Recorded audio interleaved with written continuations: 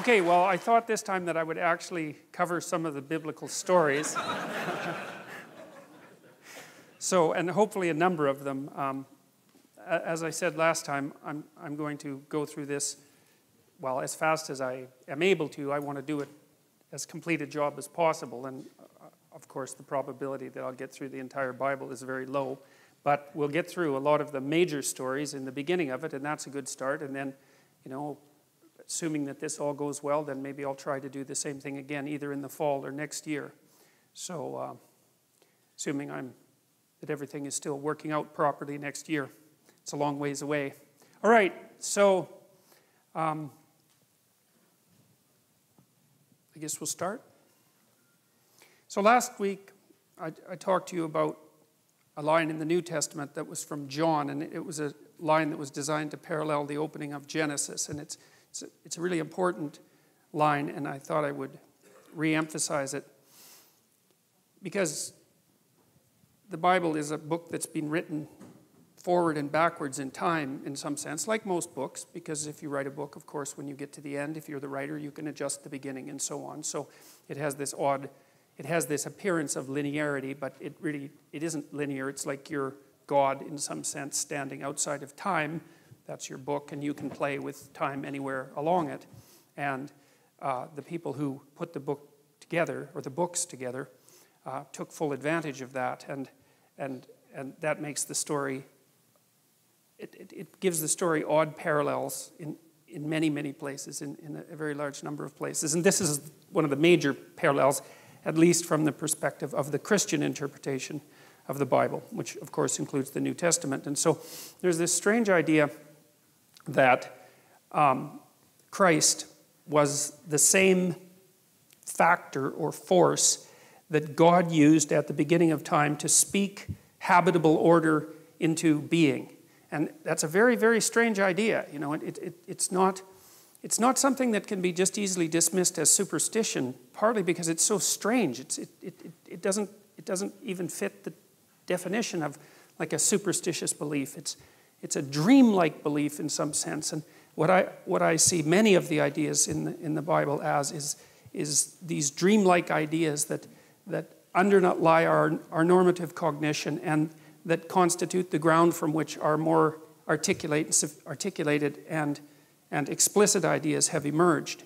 And this one's so complicated, this idea is so complicated that it's still mostly embedded in dreamlike form, but it seems to have something to do with the primacy of consciousness. And this is one of the biggest issues regarding the structure of reality, as far as I can tell, because everyone from physicists to neurobiologists debates this. There's, there's the, the, the stumbling block for a purely objective view of the world seems to me to be consciousness. And consciousness has all sorts of strange properties. For example, it isn't obvious what constitutes time, or at least duration, in the absence of consciousness. And it, it isn't also easy to understand what constitutes being in the absence of consciousness because it seems to be the case. Well, if a movie is running and there's no one to watch it, I know it sounds like the tree in the forest idea, but it's, it's, it's not that idea at all. If, if a movie is, watching, is running and no one's watching it, in what sense is, can you say that there's even a movie running? Because the movie seems to be the experience of the movie, not the objective elements of the movie. And there's something about the world, at least insofar as we're in it as human beings, that is dependent on conscious experience of the world. Now, of course, you can take consciousness out of the world and say, well, if none of us were here, if there was no such thing as consciousness, then the cosmos would continue running the way it is running. But of course, it depends on what exactly you mean by the cosmos when you make a, a statement like that, because there's something about the subjective experience of reality that gives it reality. Or at least that's one way of looking at it. And since we're all pretty enamored of our own consciousnesses, although they're painful because they define our being, it's not unreasonable to give consciousness a kind of metaphysical primacy. Now, and it's deeper than that, you know, it's deeper idea than that because there are physicists, and they're not trivial physicists like, like John Wheeler, who believes that in some sense consciousness plays a constitutive role in transforming the chaotic potential of being into the actuality of being. And he, he actually thinks about it, he's not alive anymore, but he actually thought about it as, as playing a constitutive role, you know. And then from the neurobiological perspective or from the scientific perspective, it's like consciousness is not something we understand. I don't think we understand it at all. It's something we can't get a handle on with our fundamental materialist philosophy. And I don't know why that is. It's quite frustrating if you're a scientist, but it isn't clear to me that we've made any progress whatsoever in understanding consciousness, even though,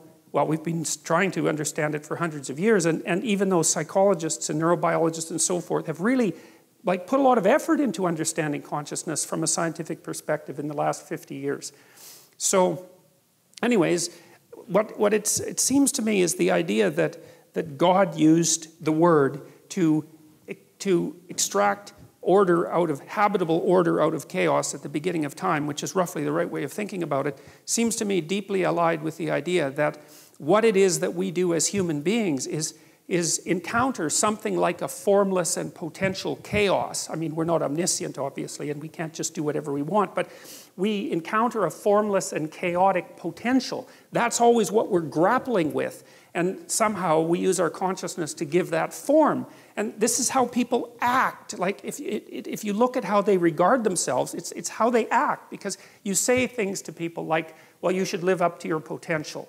When, and, and you make a case that there's something about a person that's more than what is, that yet could be if only they participated in the process properly. And everyone knows what that means, and no one acts like a mystery has been uttered when you say that. And you know, we, you can see a situation in your own life that's full of potential. You're often extremely excited when you encounter something that's full of potential because what you see is something that could be. You see a future beckoning for you that could be if only you interacted with it properly. And it activates your nervous system, right, in, in, a, in a very basic way. And we even understand how that happens to the degree that we understand how the nervous system works because the systems that mediate positive emotion, which are governed roughly by, by the neurochemical dopamine, and which have their roots way down in the ancient hypothalamus, a very, very archaic and, and fundamental part of the brain.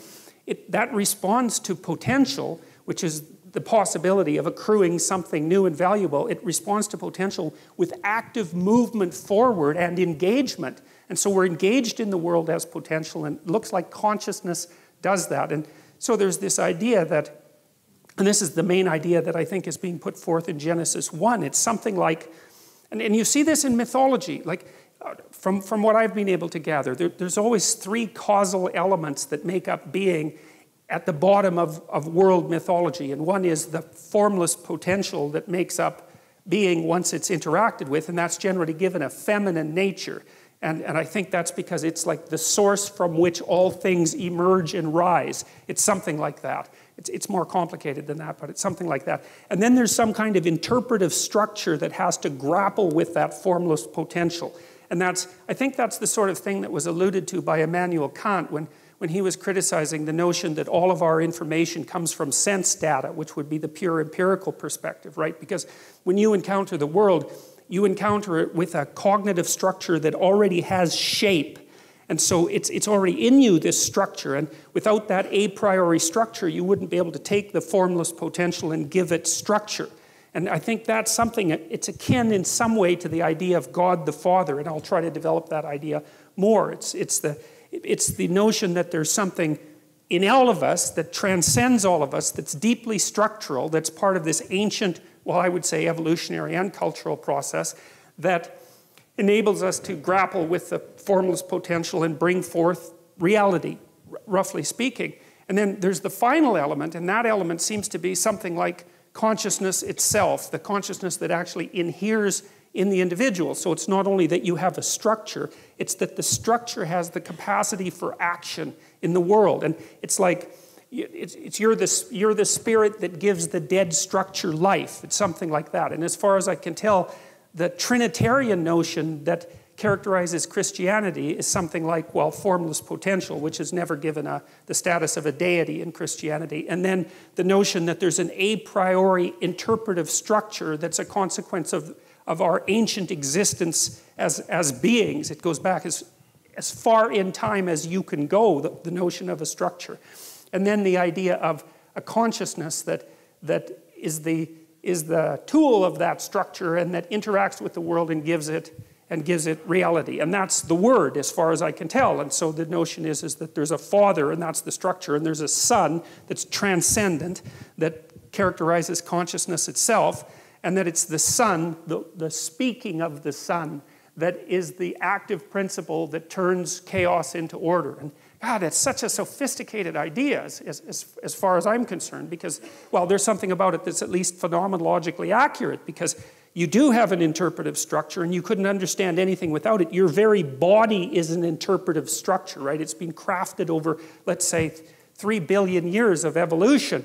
Without that, you wouldn't be able to perceive anything. And it's taken a lot of death and struggle and tragedy to produce you, the thing that's capable of encountering this immense chaos that surrounds us and to transform it into habitable order. And then there's the idea, too, of course, that's deeply embedded in the first chapters of Genesis, which is a staggering idea, you know, and, and certainly not one that's likely that human beings were made in the image of God, both male and female were made in the image of God. And that's, of course, a very difficult thing to understand, partly because the God that's referred to in, the, in those chapters has a kind of polytheistic element, um, although it, it's an element that's moving rapidly towards a unified monotheism.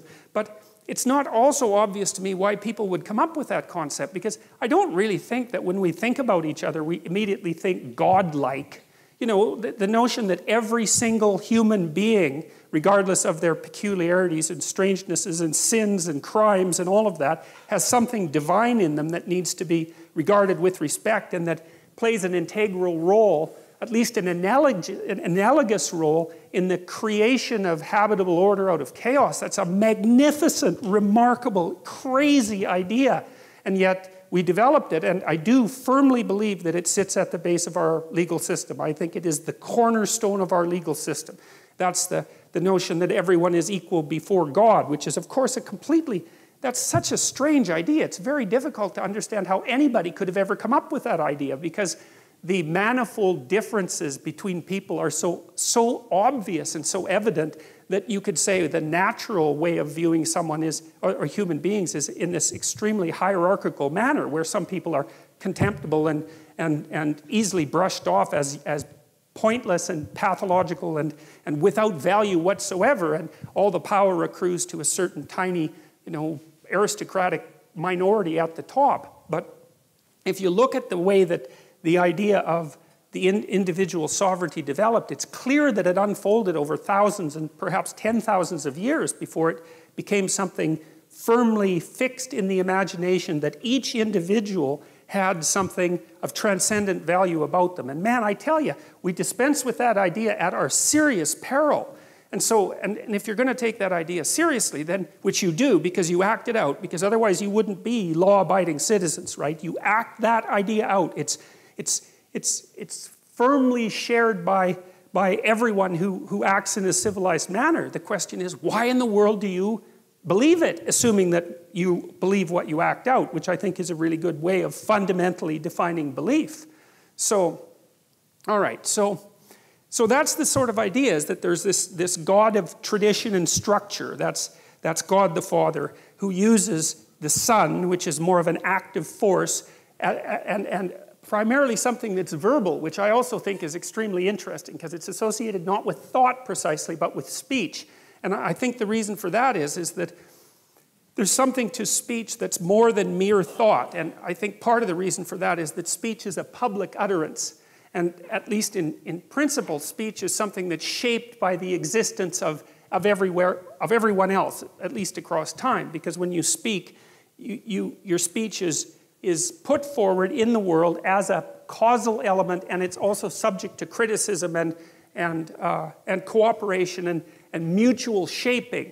And so th there's an idea here, too, that speech is that, that the cognitive processes that bring habitable reality out of, out of uninhabitable chaos have this collective and public element, which which is part of the reason, by the way, that I'm an advocate of free speech, let's say above all, because I, I don't think, although it is the case, for example, in the Canadian Bill of Rights, that every single right has equal value. That's the theory. It's an idiotic theory because it's absolutely impossible for a large set of rights to have absolutely equal standards, stances. That cannot happen. There's no way that that can ever work. But that is the legal judgment. But I think it's a huge mistake because free speech has this, well, this divine quality, let's say, that you can't escape from because it's the thing that manufactures everything else. You know, it's, and so, and I do think that the, the, the dream that you could think of as encapsulated in the stories in Genesis is, is the dream by which human beings dreamed up the idea that we would now consider consciousness. Because you know it took us a long time to figure out the word consciousness. It's not like it's bloody obvious. It, who knows how many thousands of years or, or, or who knows what struggles we had to undertake to abstract out something like consciousness and how we had to represent that dramatically, say, or symbolically, or in a dreamlike fashion before we could actually formulate the term and, and localize that to some degree in people. It's very sophisticated. So, so John makes the case that, well, there's, there's an emanation of God or an element of God the, the transcendent consciousness, it's something like that, that acts directly and in, in a sort of living way with the, with the underlying potential of the world. And I think that that's phenomenologically accurate, and I do think that that's the way we regard our lives. Because, you know, when you think about it too, we tend to think that what you encounter when you're looking at the world is the material world, but that isn't how you act you do act as if you're in a place of potential and also in a place of potential that you can actually transform, which is also something extraordinarily strange, you know, because we do treat each other as if we're capable of bringing new forms into the world in some permanent manner, right? And, and we treat each other as if we have free choice and free will, and perhaps we don't. But it's certainly the case that societies that are predicated on the idea that we don't, don't do very well.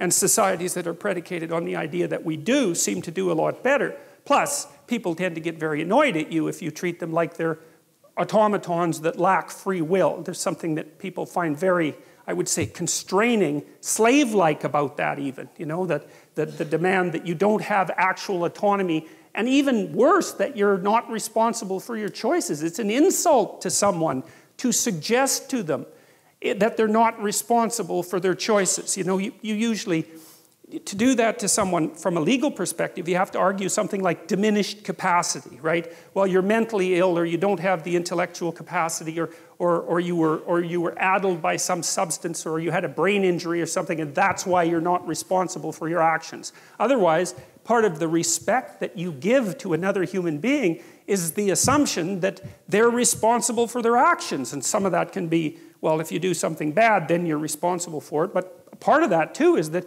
if you do something good, you're also responsible for that. And that also seems necessary because, I mean, do you really.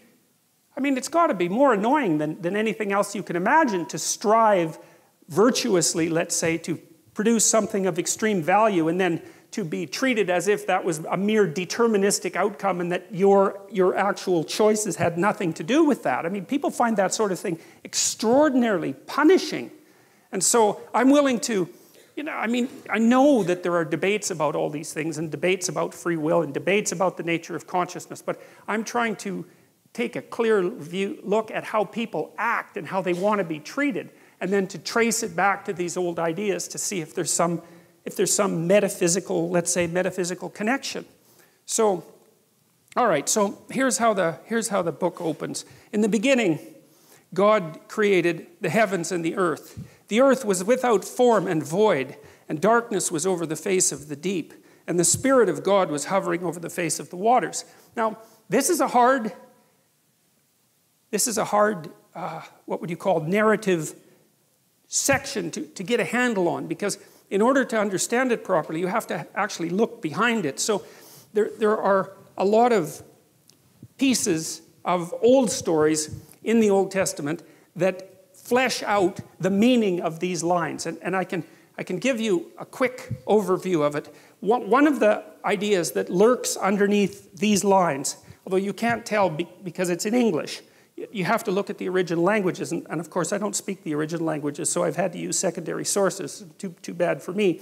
But the, the, the uh, without form and void and the deep idea, you see, that's associated with this notion of endless deep potential. So, for example, the words that are used to represent without form and void are something like, well, one is to, I'm going to get this partly wrong, tohu wabohu, and another one is tehom. And it's important to know this because those words are associated with an early mes earlier Mesopotamian word, which is Tiamat. And Tiamat was a dragon like creature who represented the salt water.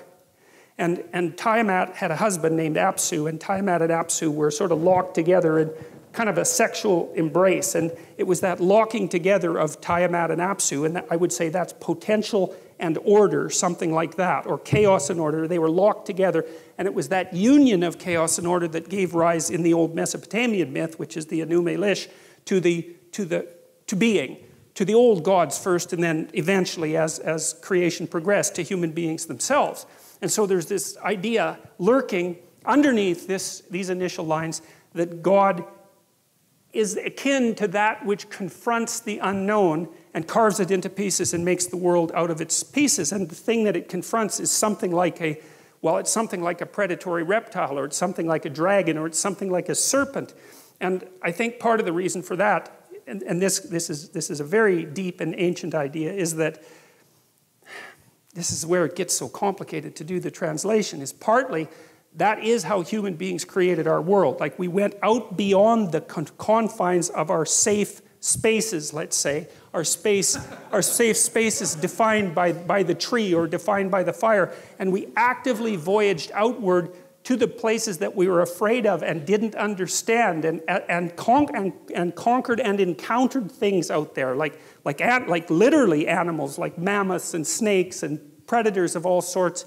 And it was a, as a consequence of that active, brave engagement with the domain of what we did not understand, the terrifying domain of what we did not understand, that the world in fact was generated. And that idea lurks deeply inside the, the opening lines of, of Genesis. And it's a, and it's a profound idea in my estimation. And I think, see, I think also that the way our brains are structured, and this is something that I'm going to try to develop more today, is that the ancient circuits that our ancestors used to deal with the space beyond which they had already explored. So that would be home territory.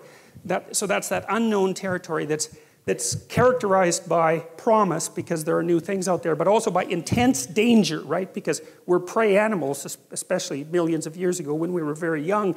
We had to go out there and encounter things that were terribly dangerous. And there was a kind of, let's say, paternal courage that went along with that. And it was that the spirit of paternal courage that enabled the conquering of the unknown. And there's no difference between the conquering of the unknown and the creation of habitable, habitable order. And the thing is, is that as our cognitive faculties have developed to the point where we're, we're capable of very high levels of abstraction, the underlying biological architecture has remained the same. And so I, I don't think that it's too much to say at all that the, the circuits that you that engage you, for example, when you're having an argument about something fundamental with someone that you love. And so you're trying to structure the world around you jointly to create a habitable space that you can both exist within. You're using the same circuits, the abstracted version, you're using the same circuits that our archaic ancestors would have used when they went out into the unknown itself to encounter beasts and, and, and predators and, and, and geographical unknowns. It's the same circuit. It's just that we do it abstractly now instead of concretely. But of course, it has to be the same circuit because evolutionary, evolutionary is, is a very conservative force. And what else would it be? And this is also why I think it's so easy for us to demonize those people who are our enemies because our enemies confront us with what we don't want to, with what we don't want to see. And, they, they, and because of that, our first response is to use snake, circuitry, snake detection circuitry on them, and that accounts for our capacity, almost immediate capacity, to demonize. And, and, and there's a reason for that. It's not a trivial thing. First of all, it's a very fast response. And second of all, it's a response that has worked for a very, very, very long time.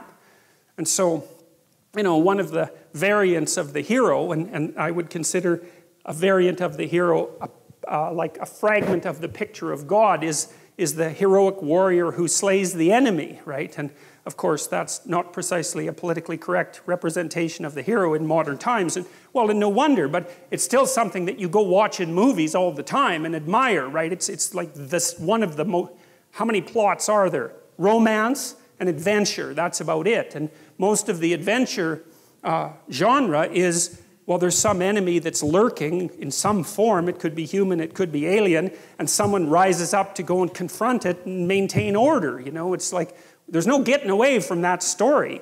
And, and if you don't have that in your own life, then you, you play a video game where that's happening, or you watch a movie where that's happening, or you read a book where that's happening, and it captures you, even if you're atheistic and your only religion is Star Wars, you know? And, and it's still, well, really, really, right? It, it, it really, it still captures your imagination, and you act like someone who's possessed by religious fervor when you line up for three days to be the first one into the theater, you know, and all the while claiming that you're atheistic to the core. It's like, Okay, so this, this without form and void is this chaotic, and it's a, it's a hard thing to it's a hard thing to get a grip on, you know, what exactly this means. But I can give you a, another kind of example of how you would experience the formless chaos of potential in your own lives, and, and even how the order that you currently inhabit can dissolve into that. And you know, in Dante's um, Inferno, when he outlined the levels of hell, so Dante was trying to get to the bottom of what constituted evil, really, in, in, in, this representation.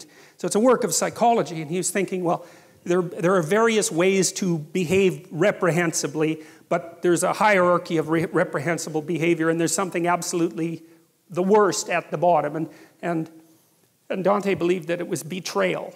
And, and I think that's right, because, you know, one of the things that enables uh, long term cooperation, peaceful cooperation between people is trust. And I would also say that trust is the fundamental natural resource. Uh, there's been some very good books written on the economic utility of trust, for example, and societies where the default economic presupposition between trading partners is trust tend to be rich even if they don't have any natural resources. And you can see that, for example, with what happened with eBay, which I think was a kind of miracle because what should have happened with eBay was that you sent me junk and I sent you a check that bounced, right? And, and that was the end of eBay.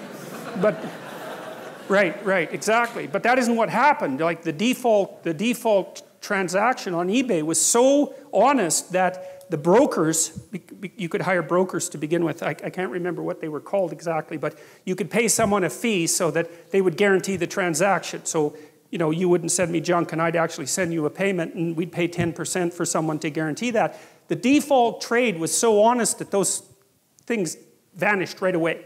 And so that meant that all this frozen capital, roughly speaking, which were all the junk that people had lying around that someone else might want, instantly became money. And the only reason that worked was because people trusted one another. And so trust is, is, is an unbelievably powerful economic force, maybe the most powerful economic force. Anyways, if you have a relationship with someone, it's predicated on trust. And part of the reason for that is that trust is what enables us to look at each other without running away screaming. And what I mean by that is that if I trust you, then I don't have to take into account how complicated you are because you're horribly complicated. You know, I think chimpanzee full of snakes, that's what a human being is. And, and as long as you'll do what you say you'll do, then I can take you at your word, and your word simplifies you, and you can take me at my word, and my word simplifies you, and then we can act like we understand each other even though we don't. But then if that trust is betrayed, then all the snakes come forth very, very rapidly. And so you, you, all of you, I suspect, have been betrayed one way or another. And so what happens if, if you're in a relationship with someone and you trust them, then you make certain assumptions about the past, and you make certain assumptions about the present, and you make certain assumptions about the future. And everything's stable, and so you're standing on solid ground. And, and the chaos, it's like you're standing on thin ice. The chaos is hidden. The, the shark beneath the waves isn't there. You're, you're safe. You're in the lifeboat. But then if the person betrays you, like if you're in an intimate relationship and the person has an affair and you find out about it, then, then you think one moment you're one place, right? You're, you're where everything is secure because you've predicated your perception of the world on the axiom of trust. And the next second, really, the next second, you're in a completely different place. And not only is that place different right now, the place you were years ago is different, and the place you're going to be in the future, years hence, is different. And so all of that certainty, that strange certainty that you inhabit, can collapse into incredible complexity. And you say, well, if someone betrays you, you think, well, okay, Who were you? Because you weren't who I thought you were. And I thought I knew you, but I didn't know you at all. And I never knew you. And so all the things we did together, those weren't the things that I thought were happening. Something else was happening. And you're, you were someone else. And that means I'm someone else because I thought I knew what was going on. And clearly I don't. I'm some sort of blind sucker or, the, or the victim of a psychopath or someone who's so naive that they can barely live. And I don't understand anything about human beings and I don't understand anything about myself. And I have no idea where I am now. I thought I was at home, but I'm not. I'm in a house and it's full of strangers. And I don't know what I'm going to do tomorrow or next week or next year. It's like all of that certainty, that habitable certainty, collapses right back into the potential from which it emerged.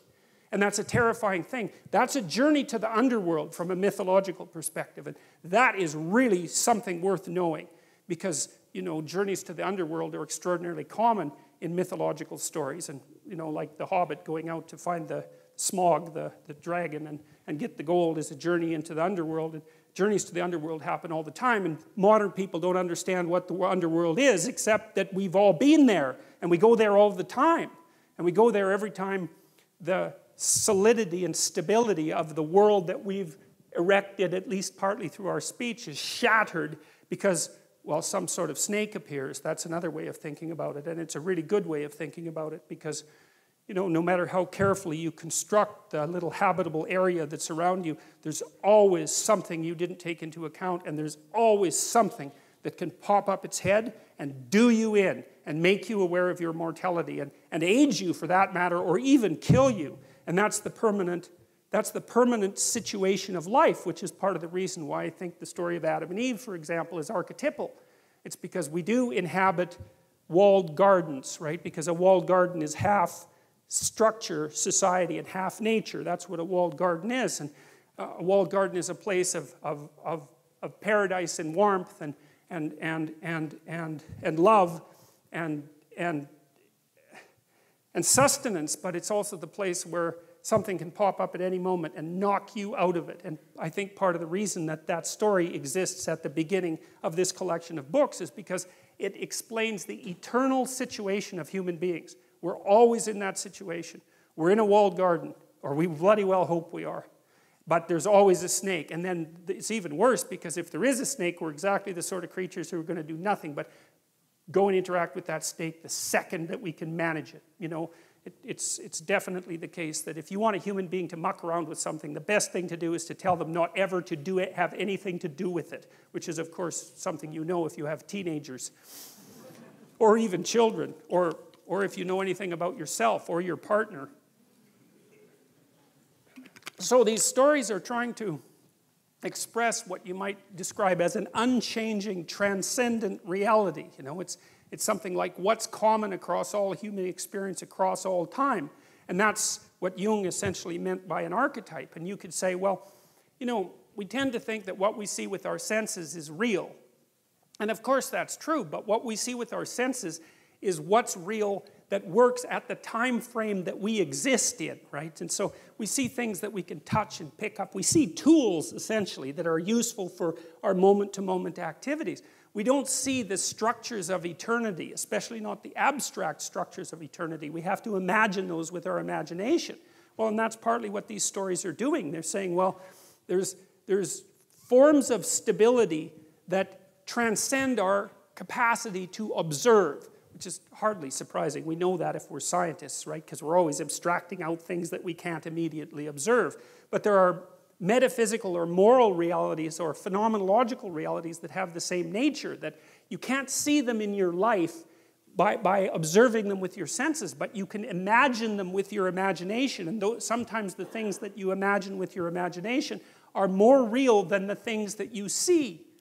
Numbers are like that, for example. I mean, there's, there's endless examples of that. And I would say, well, this is also a good way of thinking about fiction because a good work of fiction is more real than the stories from which it was derived. Otherwise, it has no staying power, right? It's distilled reality, even though in some sense it never happened. It's like, well, it depends on what you mean by happened. You know, it's, it's, it's, a, it's a pattern that repeats in many, many places with variation you extract out the central pattern. It's, it's the pattern purely never existed in any specific form, but the fact that you've pulled a pattern out from all those exemplars means that you've extracted something real.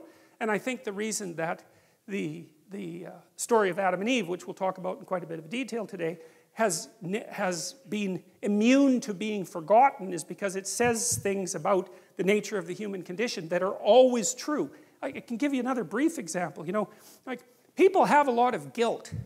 You know, there, there's a line of social psychology that claims that most people feel that they're better than other people. And like, I just don't buy that. That isn't what I've seen in my life. And maybe it's, I'm a bit biased because I'm a clinical psychologist and I see more people who are overtly suffering, maybe, than people do in general. Although I'm not so sure about that, you know, because you don't have to scratch very far beneath the surface of most people's lives before you find something truly tragic. And, and I don't mean the sort of tragedy that, that you whine about. I mean, you know, your mother has Alzheimer's or, or your, your best friend committed suicide or you have a close relative with cancer, or you have a sick child, or you know, there's something wrong with you because almost everyone has at least one really terrible thing wrong with them. And if you don't, hey, you will. So, you know. so, no, that, that, so, so that, that, that tragic sense of being is there with people all the time. And, and, and it's also the case that, that my, in my experience, like I rarely meet someone who says, hey, you know, I'm doing everything I possibly can. I'm a hell of a guy, and I can't see how I could possibly improve. You know, you, you, meet, you meet someone like that, you think they're narcissistic, right? And you're right. And, but, but most people don't feel that way. They feel like they could do a hell of a lot better than they are, and they're quite acutely aware of their faults, and they don't feel that they're what they should be. And you see, what happens in the story of Adam and Eve as well is that when people become self conscious, at least that's how it looks to me, they get thrown out of paradise and then they're in history. And history is a place where there's pain in childbirth and where you're dominated by your mate and where you have to toil like mad, like no other animal, because you're aware of the future. You have to work and sacrifice the joys of the present for the future constantly, and you know you're going to die. And you have all that weight on you. And to me, again, that's just how can anything be more true than that? That's just as far as I can tell, that's just how it is. For unless you're naive beyond comprehension, there's something about your life that that that is echoed in, in that representation. And why it is that I mean, we're such strange creatures because we don't seem to really fit into being in some sense, and that's also what's expressed in the notion of the fall. We the existentialists said, well, people feel like they have a, a debt that they have to pay off to existence for the, for the crime of their for the crime of their being, something like that. And, and, maybe it's because we're acutely aware that we have to offer something of value to the people around us so that they can tolerate us, you know, while we're, we're going about our business. But it seems deeper than that. It's that human beings seem to exist in a post cataclysmic world. And that's exactly also what's represented in Genesis. And it's very interesting because, you know, there's in the Adam and Eve story, there's two there's two catastrophes essentially. There's the catastrophe that occurs when Adam and Eve wake up, which we'll talk about in detail, and become self conscious and, and know that they're naked. That, and, and, and their eyes are open, right? So that's the terminology that's used. And to have your eyes open means to have an, an increment in consciousness, essentially, because eyes are associated with consciousness for human beings because we're intensely visual animals. And so the metaphor of having your eyes opened means is the same as the metaphor of coming to consciousness. And as soon as Adam and Eve come to consciousness, they realize they're naked. And you know, the classic interpretation of that is that it has something to do with sexual sin. And I, I, don't, I don't believe that. I, I, I don't believe that that's what it means, although, although there are elements about that that are relevant. It's more that to realize that you're naked it's like you're, you know, if, if you dream that you're naked on, on a stage in front of people, that's not a sexual dream, man, unless you're some kind of strange exhibitionist, right?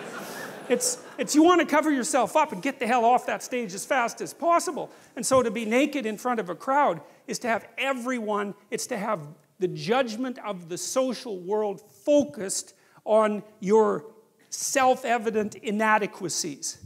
And that makes people self conscious, and that, that's a real human state. It's associated with neuroticism in, in the Big Five trait model. But people don't like that at all. They don't like having their fragility and vulnerability exposed to the group. It's one of the two major fears of people, because one is social humiliation, and the other is something like mortality and death. And like your, your typical agoraphobic, for example, gets to have both those fears at the same time, because she, it's usually a she, tends to believe she's going to have a very spectacular and exhibitionistic heart attack in a public place and make a terrible fool of herself while she's dying. So, and then that's a good example of, of the two archetypal fears that characterize, characterize human beings. So, so to me, and I said that I tried to approach these stories as if I didn't know what they were about, because that seemed right to me, because they're mysteries. They're, everything about them is mysterious, and why we have them is mysterious, and what the hell you're all doing here is mysterious, you know, listening to this lecture. And so, and reading Jung, because Jung, Carl Jung, was very, very helpful in this because he, he faced these stories with a beginner's mind and presumed there was something to him that he didn't understand, given that they were at the very bloody bottom of our civilization, you know, which is historically perfectly clear, and that they came out of the midst of time. And he wasn't satisfied with the idea, the Freudian idea that God was just the father, or the Marxist idea that religion was the opiate of the masses. It's like if religion was the opiate of, of the masses, then um, Communism was the methamphetamine of the masses, I can tell you that. So,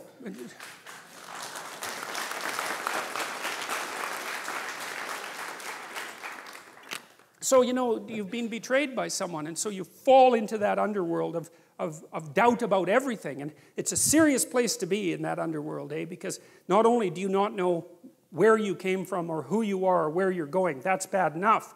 So that's the underworld itself. But there's a subdivision of the underworld, like the worst suburb, which is, I think, what hell is essentially from a metaphysical perspective. Because, you know, if someone really cuts you off at the knees, especially if they do it in a malevolent way, and, and if you're going to be betrayed and you really want to be betrayed properly, you want to be betrayed by someone who's really out to hurt you. You know, they just weren't being stupid, they were like after you for whatever reason. And then that's also, you plunge into that underworld space, and that's also when you start to nurse feelings of resentment and aggrievement and murder and homicide, and even worse, you know, because if people are betrayed enough, they start, they start to obsess about the utility of being itself and perhaps go to places that no one would ever want to go if they were in their right mind and to, and to develop and nurse fantasies of the ultimate revenge. And that's a horrible place to be, and that's hell as far as I can tell. And that's why hell has always been a suburb of the underworld, because if, if you get plunged into a situation that you don't understand and things are not good for you anymore, it's one step from being completely confused.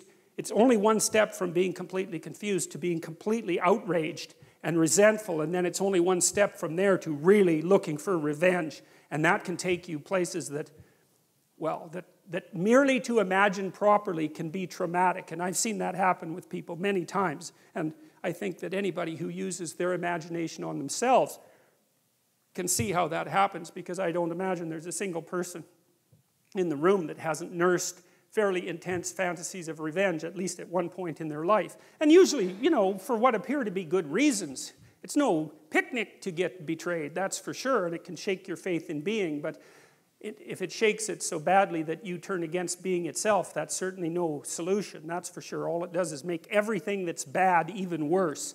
So, okay, now, so, and God said, Let there be light, and there was light, and God saw that the light was good. And God separated the light from the darkness. And so that's, that's, another, that's another fundamental separation, right? Light and darkness. Those are those are, in some sense, the two fundamental, two of the fundamental elements of our conscious being, because of course, when, when it's light, we're awake and conscious because we're diurnal animals, and when it's night, well, then we're asleep. And so our, our, our existence is bounded by light and darkness. We're, we're up and alert when it's light, and that's partly because we're highly visual animals, right? Unlike most animals, because most animals use smell, we, we use vision. We're very strange that way. And vision is associated with enlightenment and illumination and with the breaking of the dawn and with the coming of the new day and, and all of that. So, and so for, for light to be created is, is, is associated in some sense with the emergence of conscious being. And so that's another echo of that notion. And there, the, the particular phrasing of the, of the story also is important because it's again that God said, right? So that's the use of that word. And that's the active element of the structure that gives rise to, that gives order to chaos. It's something like that. So it's, the, it's like the spirit of the structure manifests itself and, and produces the fundamental divisions of experience. That's what's being presented here. And God separated the light from the darkness. He called the light day, and the darkness he called night. And again, again, the fact that things are named is also very important. So you see this later with Adam because God gives Adam the job of naming all the animals. And it's sort of like the animals don't actually exist in some sense till they're named. And that's, that's another indication of the authors of the Bible's attempt to come to terms with the fact that our cognitive faculties and our ability to speak have something to do with the way that we cast chaotic potential into actuality, right? Because we can't, we can't really get a grip on something before we have a name for it, which is why, for example, you all have names, and everything that you encounter has to have a name, because before it has a name, it's just kind of part of the blurry background. It's something like that. And you could say it exists before it has a name, but, and that's true, but it's also true that it doesn't exist before it has a name. Because as soon as you give something a name, its nature changes and you've transformed it into something that's not so much mere potential anymore, but it's at least on its way to being actuality. It's on its way to being a tool. And so the, the act of naming is repeated continually in the first chapters of the Bible, and the reason for that is this continued emphasis on the importance of consciousness and conscious articulation and speech. You know, and speech is really something that does separate us in an important way from animals. You know, like we, we haven't got very far teaching animals how to speak. The best we've managed so far is some parrots, right? There's gray African parrot. There was one of them that got up to about a four year old level. And that's mind boggling because, like, how big is the brain of a parrot? It's like that big. And that bloody thing could talk. And so that shows you how much we know about brains. But I know they're small and all that. But and we tried teaching chimpanzees to talk, and they could kind of get somewhere with sign language, especially if you started when they were young. But they don't have the capacity for language like we do, and they were never able to really pass it on to the, to the next generation, which is obviously a critical element of really having that ability. So, human beings, we've, we've, we've used our linguistic capacity to parse up the world in a new way and to conceptualize it in a new way. And, you know, you can say that we're just like ants on this little trivial planet out on the edge of, of one of 100 million galaxies, and that what's happening here has no cosmic significance. But that's an arbitrary, that's an arbitrary uh, proposition, you know? I mean, we're very complicated things, and, and whatever's going on on this planet has to do with conscious reality. And the transformations of consciousness, for all we know, might be the most important things that happen everywhere. There, there's no reason to consider consciousness a trivial phenomena. I mean, it's taken three and a half billion years for you to develop the brain that you've developed. And, you, and human beings are amazing creatures. I mean, just a casual walk through YouTube and all those crazy kids that climb cranes and do that. What's that? That yeah, parkour, man. That stuff's unbelievable. You know, I mean, human beings are crazy, crazy animals. There's almost nothing we can't do. And I'm very loath to assume that the transformations of consciousness that are described in the early in the early stories in, in the biblical accounts are somehow cosmically trivial. It, it doesn't strike me that way, and it's certainly not self evident. And even if they are cosmically trivial, whatever that means, the rocks don't care what you think. Well, who cares what the rocks think? First, they don't think. So I don't see why that's exactly relevant. But even if even if it's all the same to the cosmos, which is something that I doubt, it's certainly not just all the same to you you know, because your consciousness has a quality and it matters. The Heidegger, for example, who's, who's a philosopher who, who's writing sort of influenced me post hoc because I recreated some of the things that he had talked about in the 30s before I knew much about him. But one of the things that Heidegger said was that the fundamental element of human being, of human phenomenology, was care. He said that that's the basic essence of your being, is that you care about things. You know, and, that, and that's that either negatively or positively, right? You, to not care about something or to hate it is still to be involved in care. And so, even if the cosmos itself is, is neutral with regards to our existence, we're not, and we're the only things that we know of that are conscious, and so, well, we might as well go with that. And there's no reason. See, I can't help but think that the constant attempts by people to trivialize the nature of their own consciousness has a, has a dark side. I'm a, I'm a psychoanalyst, and so I always think that way. It's like, Well, first of all, if, you're, if you as a being don't matter, then you don't have to do anything. It's a great justification for total lack of responsibility. And that, that really twigs something for me because, you know, people who are bent, let's say, or vengeful or angry, are always looking for a reason why they don't have to be responsible for anything. Plus, it's a lot easier. And so the notion that consciousness is trivial immediately allows you to wander down that path. And so I'm skeptical of those claims. And I also think that there's a deep hatred of humanity that underlies those claims as well. And I read my YouTube comments sometimes, you know, and I've always been, I've always been annoyed that you know, because I've heard like sort of radical, clueless environmentalists say things like the planet would be better off without people on it, which is something that, like, you just cannot say that. That if you say that and listen to yourself, you should like go to a monastery for like three years and never say a word and have a shower every 10 minutes until you've learned your lesson properly. You know, you can't utter a more genocidal phrase than that, you know. And of course, you always do it in, in, in, a, in, a, display of your care for the world. It's like, well, if we just didn't have any people, it's like, well, we'll just line them all up and shoot them with machine guns. No, it's, it's really sickening. It's appalling. And there's a hatred for humanity that's at the bottom of it. And I mean, you can kind of understand why, because we're messy and, you know, we don't clean up after ourselves and, you know, we're like raping the rainforests and that sort of thing. But I do have some sympathy for people because, you know, we're, we're, we're hell on Mother Nature, but she certainly returns the favor. So, and that's a good thing to remember. You know, a lot of what we're doing is just bloody well trying to exist with a relative minimum of pain. And we're doing our best to get, you know, to get as good at doing that as fast as we can. And that's not an easy thing. There are lots of us, and like life is bloody complicated. And the other thing that happens too is, again, if you scratch just beneath the surface of people, and this is something that's always, you know, to me has been a kind of miracle is if you talk to someone, they're out doing their job, and maybe they're doing a good job at it, like some emergency room nurse, you know, God, there's a job for you. Or maybe they work in palliative care.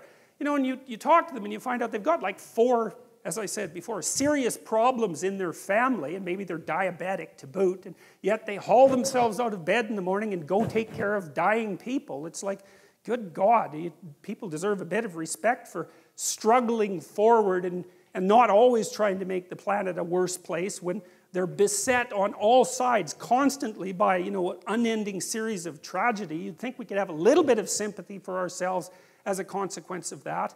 It's like we're not all like rapacious greedy monsters who are bent on just devouring everything in our path you know? It's a little bit more complicated than that. So all right. Anyway so so well so let's go to the next part of this here All right, so, and God said, Let there be an expanse in the midst of the waters, and let it separate the waters from the waters. And God made the expanse and separated the waters that were under the expanse from the waters that were above the expanse. And it was so, and God called the expanse heaven. And there was evening and there was morning the second day. Well, to understand that, because what, how did, that doesn't make any sense at all, really. So I think I told you a little bit about this before. So the, the, the world that's being created in this particular account is a phenomenological world. There's a disk of land, because if you go out in a field and you look around, you're on a disk of land, so that's pretty obvious. And then there's a dome on top of it. It's more or less held up by the mountains. And rain comes down, so there's water above the dome, because where else would the rain come from? And, and underneath the ground, there's fresh water. You can drill down and find that. And then around that, there's salt water. And so that's the the world. And it's kind of an empirical world because if you're a child and you just go out in a field and you look at the world, that's sort of what it would be like. And so that's the world that's being created. And so one of the things that is worth thinking about, and this is something Carl Jung was very interested in, is that these old descriptions are half geographical and half empirical, so sort of based on observation, and half psychological. So one of the things Jung was interested in, for example, was astrology, but mostly for a psychological reason, because, you know, there obviously there are stars up on the dome, and then when you look at the stars, you can imagine the shapes of the stars, and that helps you orient yourself, because as soon as you can see shapes in the stars, then you can recognize the constellations, and you can orient yourself at night. But then the constellations become gods, say, and the gods turn into a drama. And so and the drama comes from within. It's the projection of imagination. And so when Jung was analyzing astrology, he was analyzing psychology because he saw the astrological narrative as the projection of the human imagination onto the cosmos. And so when he was analyzing astrology, he was analyzing psychology. And the, the same thing is the case with these stories, is that the world they, they describe is only, it's not the natural world like a scientist would describe it, because these people weren't scientists. They didn't have the technology and the tools. It was, it was the way they, it, for, for them, it was the world. For us, it's the way they saw the world. And so we're looking at the way they saw the world. And a lot of that psychology, and we share that psychology to a large degree with those people. So in this is psychology. But it's interesting to know what the geographical substrate is so that you can kind of understand the stories. And I like this picture because that's it's great from a psychological perspective. It's a very famous picture. And you know, so basically what you have here is the world as we know it, and there's the dome with the sun and the moon on it and the stars, and then if you look outside what you know, well, then you're out into this cosmic space, right? And that's, those are like the wheels of, of the planets and the, the music of the spheres. And that's the ever present explorer who's gone beyond the domain that he can understand and is peering out into the unknown as such. And it's a psychological picture. It's like because you do know some things, and then outside of that, there are things you don't know. And when you're feeling brave, you put a foot or two out where you don't understand, like because there's frontier everywhere, right? And if you're if you're feeling heroic and you want to do something for the world and you want to expand what you understand, you poke your head through what you know and you take a look at the at the at whatever structure is out there. And you know, he's pretty smart because most of them is still where it's safe. And I would say that's a good that's a good thing because if you jump right out there, well, then maybe you fall off the edge of the earth. And I wouldn't precisely recommend that, especially if you do it accidentally. And to me, this is a recreation of the, of the Taoist yin yang symbol, you know, with, the, with the, the, the white paisley here, and that's what you know, and the dark paisley serpents really there. And the right place to be is right on the line between them because you're sort of, you got one foot where you understand, that gives you security.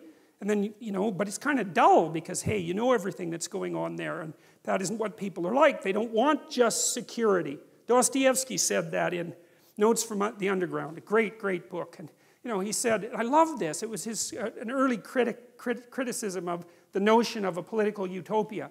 He said, look, if you gave people everything they wanted, they had nothing to eat but cake, and nothing to do but sit in warm pools and busy themselves with the continuation of the species. That was his, his lines. That the first thing they would do, well, maybe after the first week, was like go kind of half insane and smash everything up just so that something that they didn't expect would happen so that they'd have something interesting to do. And it's, it's so right because, you know, the, the utopian notion that if you just had all the material stuff you wanted, that you'd, you'd be, well, what would you be? What, what would you do? Would you just sit on the couch and, and watch TV? I mean, you'd, you'd, you'd be I don't know what, you'd be cutting yourself just for entertainment in no time flat, you know, and that's the sort of thing that people do. And so we're not adapted for security and utopia. We're adapted for a certain amount of security because, you know, we are vulnerable, but mostly we want to have one foot out where we don't know what the hell is going on because that's where you're alert and alive and tense and with it. And, and you know, I think, I believe this, and I believe it actually has something to do with the hemispheric structure of, your, of, your, of the physiology of your brain, is because the right hemisphere looks roughly adapted to what you don't know, and the left hemisphere, and this is a very, this is an oversimplification, but a useful one, is adapted to the world that you do know, and the right place for you to be is halfway between them because that and you can tell that. That's what's so cool. And, and this tells you that this is actually reality that's manifesting itself to you. You know that sense of active engagement you have in the world when things are working well for you you know where you're where you should be at the right time. You're alert and on top of things and engaged and you don't have much of a sense of time. And the sense of the tragedy of life sort of recedes. And that's when you're that's when you've got one foot when it's, where it's secure and one foot out in the unknown. And your brain signals to you that you're in the right place by making what you're doing meaningful. And that sense of meaning is actually a neurophysiological signal that you've got the forces of the cosmos properly balanced in your being at that moment. And that's why it feels so good. And then, well, what else could it possibly be? I mean, you know, our, our, our brain is capable of looking beyond our vision that's what it's for. And that sense of engagement, there's no reason to assume that that's anything but a real signal. And uh, you can reduce it. You could say, well, the problem with being where you know only is that you don't know everything, and that's going to be a problem in the future. And the problem with being where you know nothing is uh, that's just too much, man. Like, you know, you go into panic mode and because anything can happen there and you can't handle it.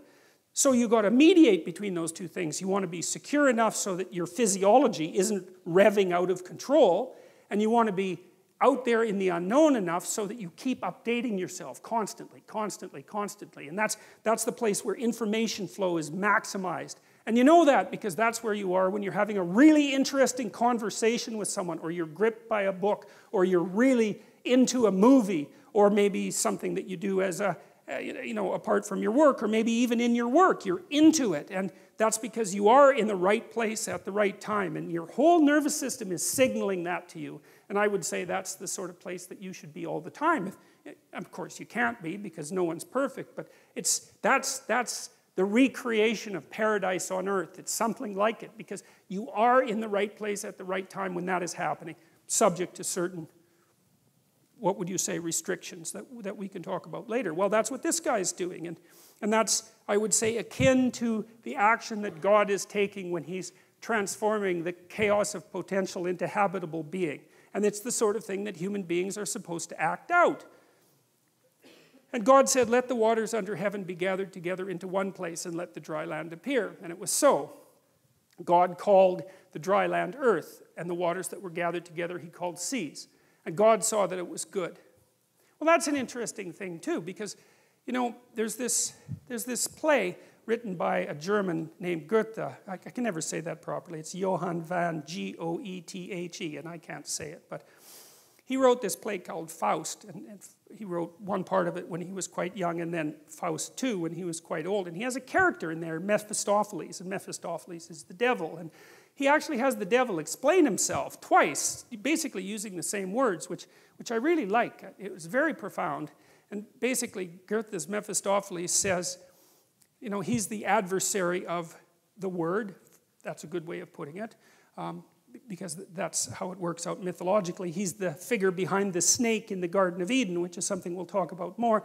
But he has a, he has a sophisticated philosophy. He's not just some random troublemaker. He, he's, got a, he's got a deep philosophy, and his philosophy is quite straightforward. And it's compelling. It's compelling.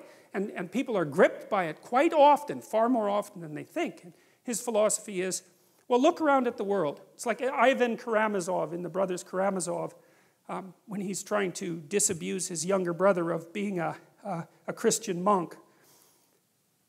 Mephistopheles says, Well, look at the world. I mean, all you look around the world, it's nothing but a bloodbath. It's just suffering everywhere. Everything eats everything, and people die terribly, and, and they're cruel to one another, and the whole mess is nothing but a, a constant haul of terrible carnage and, and ruin and, and, and, and, and, and wreck.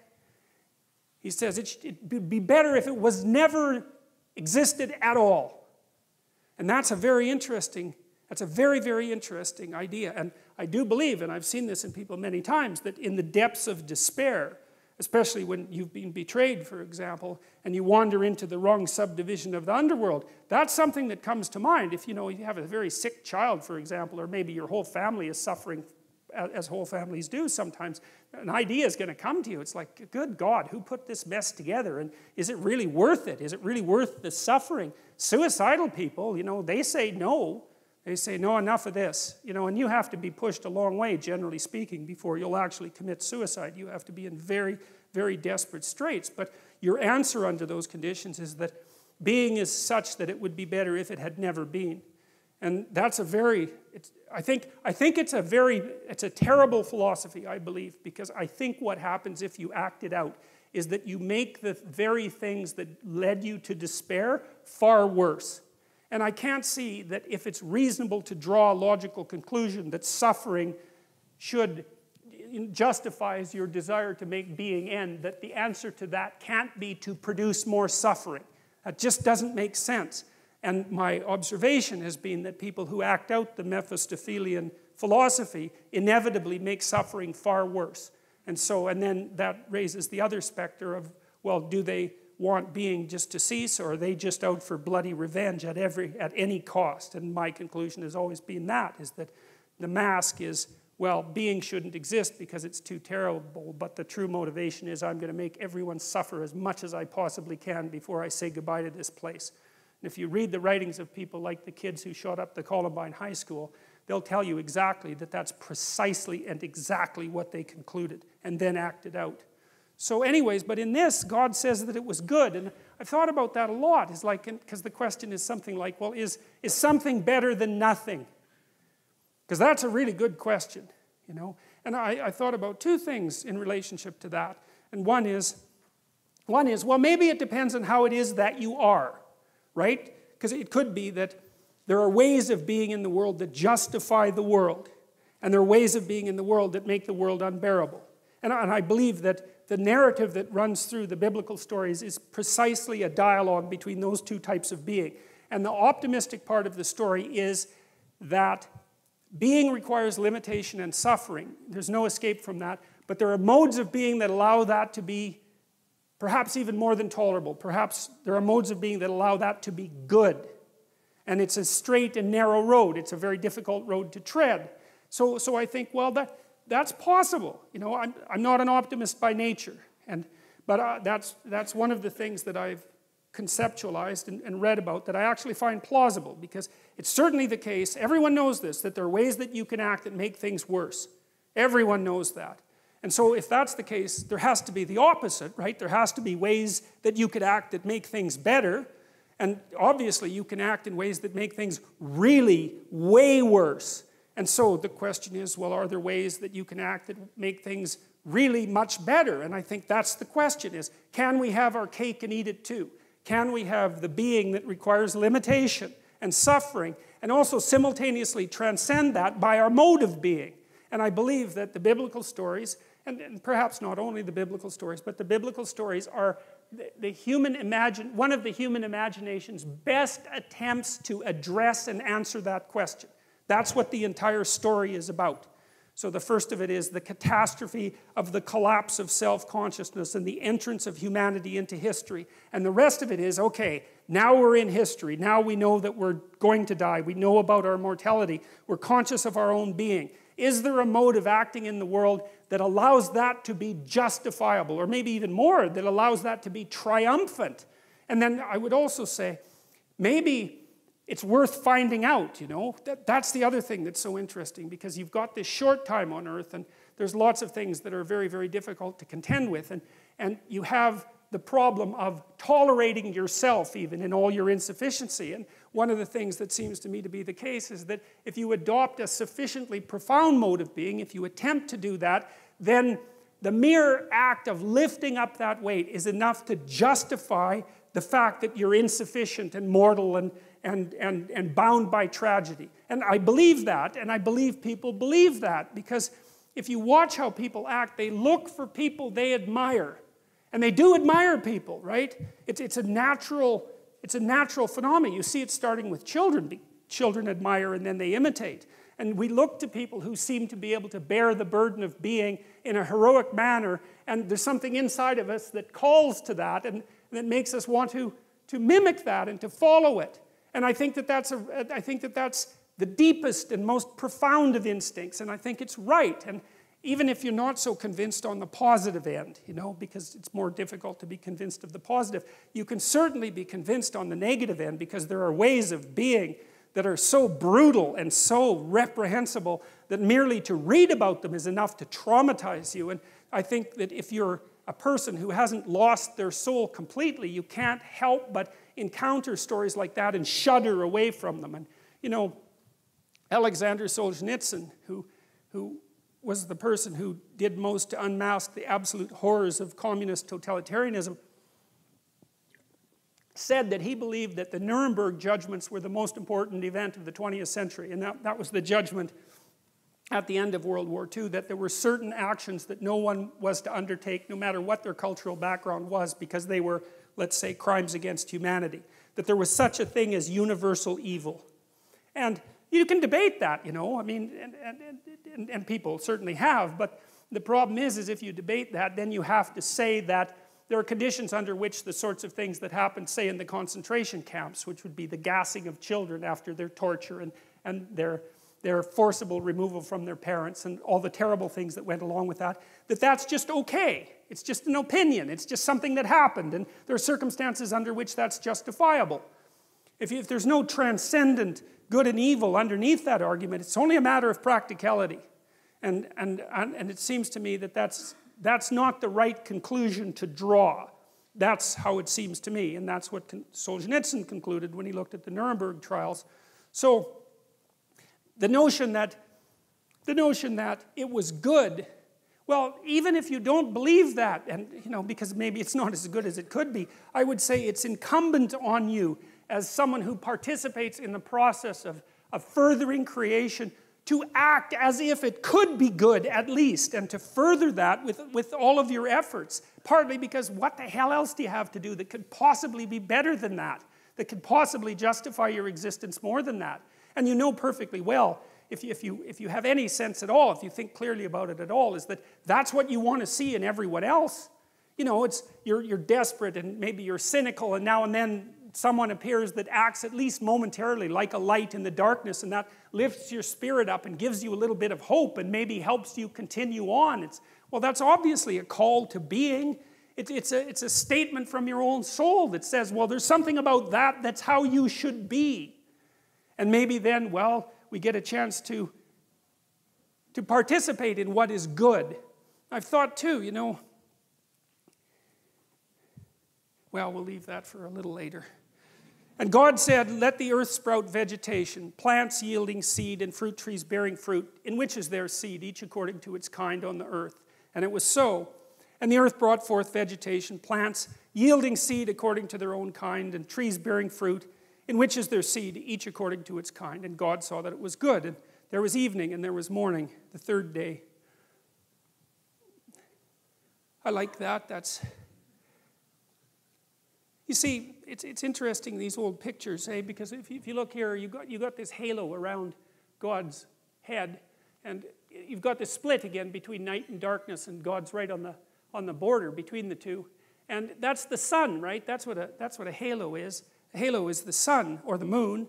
Sometimes it's like a coin. You know, you have the queen's head on the coin, and that's the queen on the moon, and it's, and it's silver, and it's a symbol of value because, of course, the queen is sovereign, and the moon is the sovereign of the night sky, and, and gold, of course, is the sun. And gold is pure because it doesn't mix with other metals, and it shines like the sun, so it partakes of the sun. And God partakes of the sun because there's something about whatever he represents that's associated with consciousness and illumination and enlightenment. And it's that force of illumination and enlightenment that's, that's right on the border between these two sets of phenomena. And that's, that's kind of what that picture is trying to present. And so, you know, it's a metaphor. That's one way of thinking about it. But it does, again, allude to the underlying idea that there's something about consciousness that's integral to, to being itself. And God said, Let there be lights in the expanse of the heavens to separate the day from the night, and let them be for signs and for seasons, and for days and for years. I mean, that's a, that's a remarkable bit of, a bit of uh, writing there, too, because you just think about how bloody long it took our caveman ancestors to look at the night sky and start to figure out that there were repeating patterns across years that enabled them to mark the seasons. I mean, I just can't imagine how they figured that out. It's that the, the degree of careful observation that it took and I mean, we know people figured that out a long time ago because, uh, uh, you know, those great megalithic monuments like Stonehenge seem to be astronomical observatories, essentially. And you see the same thing with the pyramids. I mean, people were looking at the damn sky, trying to figure out, looking at God, you know, because that's kind of what you're doing when you're looking at the night sky, trying to figure out the regularity and order in the universe. And that's all compacted into this little line, you know, and let them be for signs and for seasons to be oriented by the stars. Amazing. And then let them be lights in the expanse of heavens to give light upon the earth. And it was so. And God made the two great lights the greater light to rule the day, and the lesser light to rule the night and the stars. And God set them in the expanse of heavens to give light on the earth, to rule over the day and over the night. And so there's an idea of sovereignty there, too, right? That, that, that there's an analogy between the ruler and the, and the heavenly bodies that, that light up the, that light up the darkness, essentially. And that's a really interesting idea, too, because it took us a long time to come to terms with, as I mentioned last week, to come to terms with the idea of sovereignty itself and to decide what constituted valid power. And it's not power, it's not power, it's authority and competence and not power. It's not dominance either.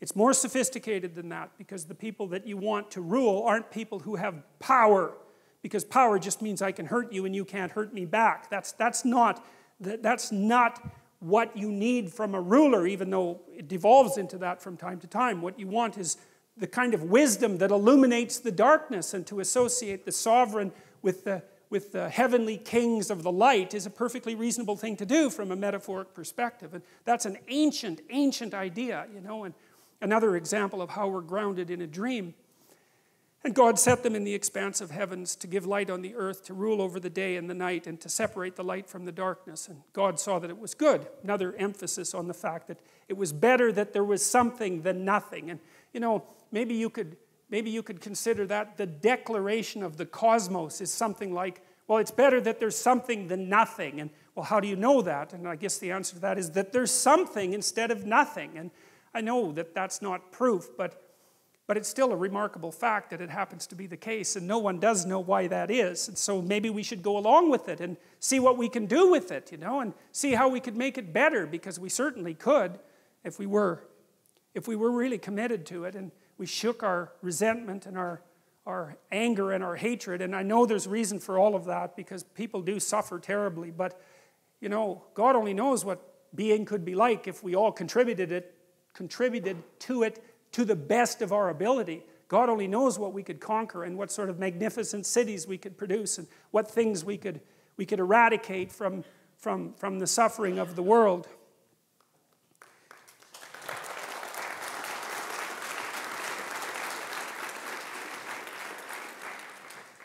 And there was, you know, there's this guy I read about. This is, this is amazing, and I don't remember his name, but he, he found out about this worm that was called the guinea worm. And guinea worm is a really horrible thing, and you can look it up if you want, but I'll tell you a little bit about it, even though it's very distasteful. So, a guinea worm is a parasite that lives in Africa, and it burrows under your skin, and it's quite long. It's about that long, and it's you know about that wide, and so it'll burrow underneath your leg, and then it's in there, you know, and maybe it pokes its little head out a hole, which is one of its delightful tendencies. And then, if you want to pull it out, it breaks, right? Because obviously, because otherwise you'd just pull it out and it would be dead. And so it doesn't like that, so it just breaks off. And many, many people had this horrible disease, you know, and it, it, it well, you, could, you can't imagine what that would be like because you're part of the 1% and you live in North America, and thank God for that. But, you know, just a little imagine, you don't even want to think about it, let alone have it.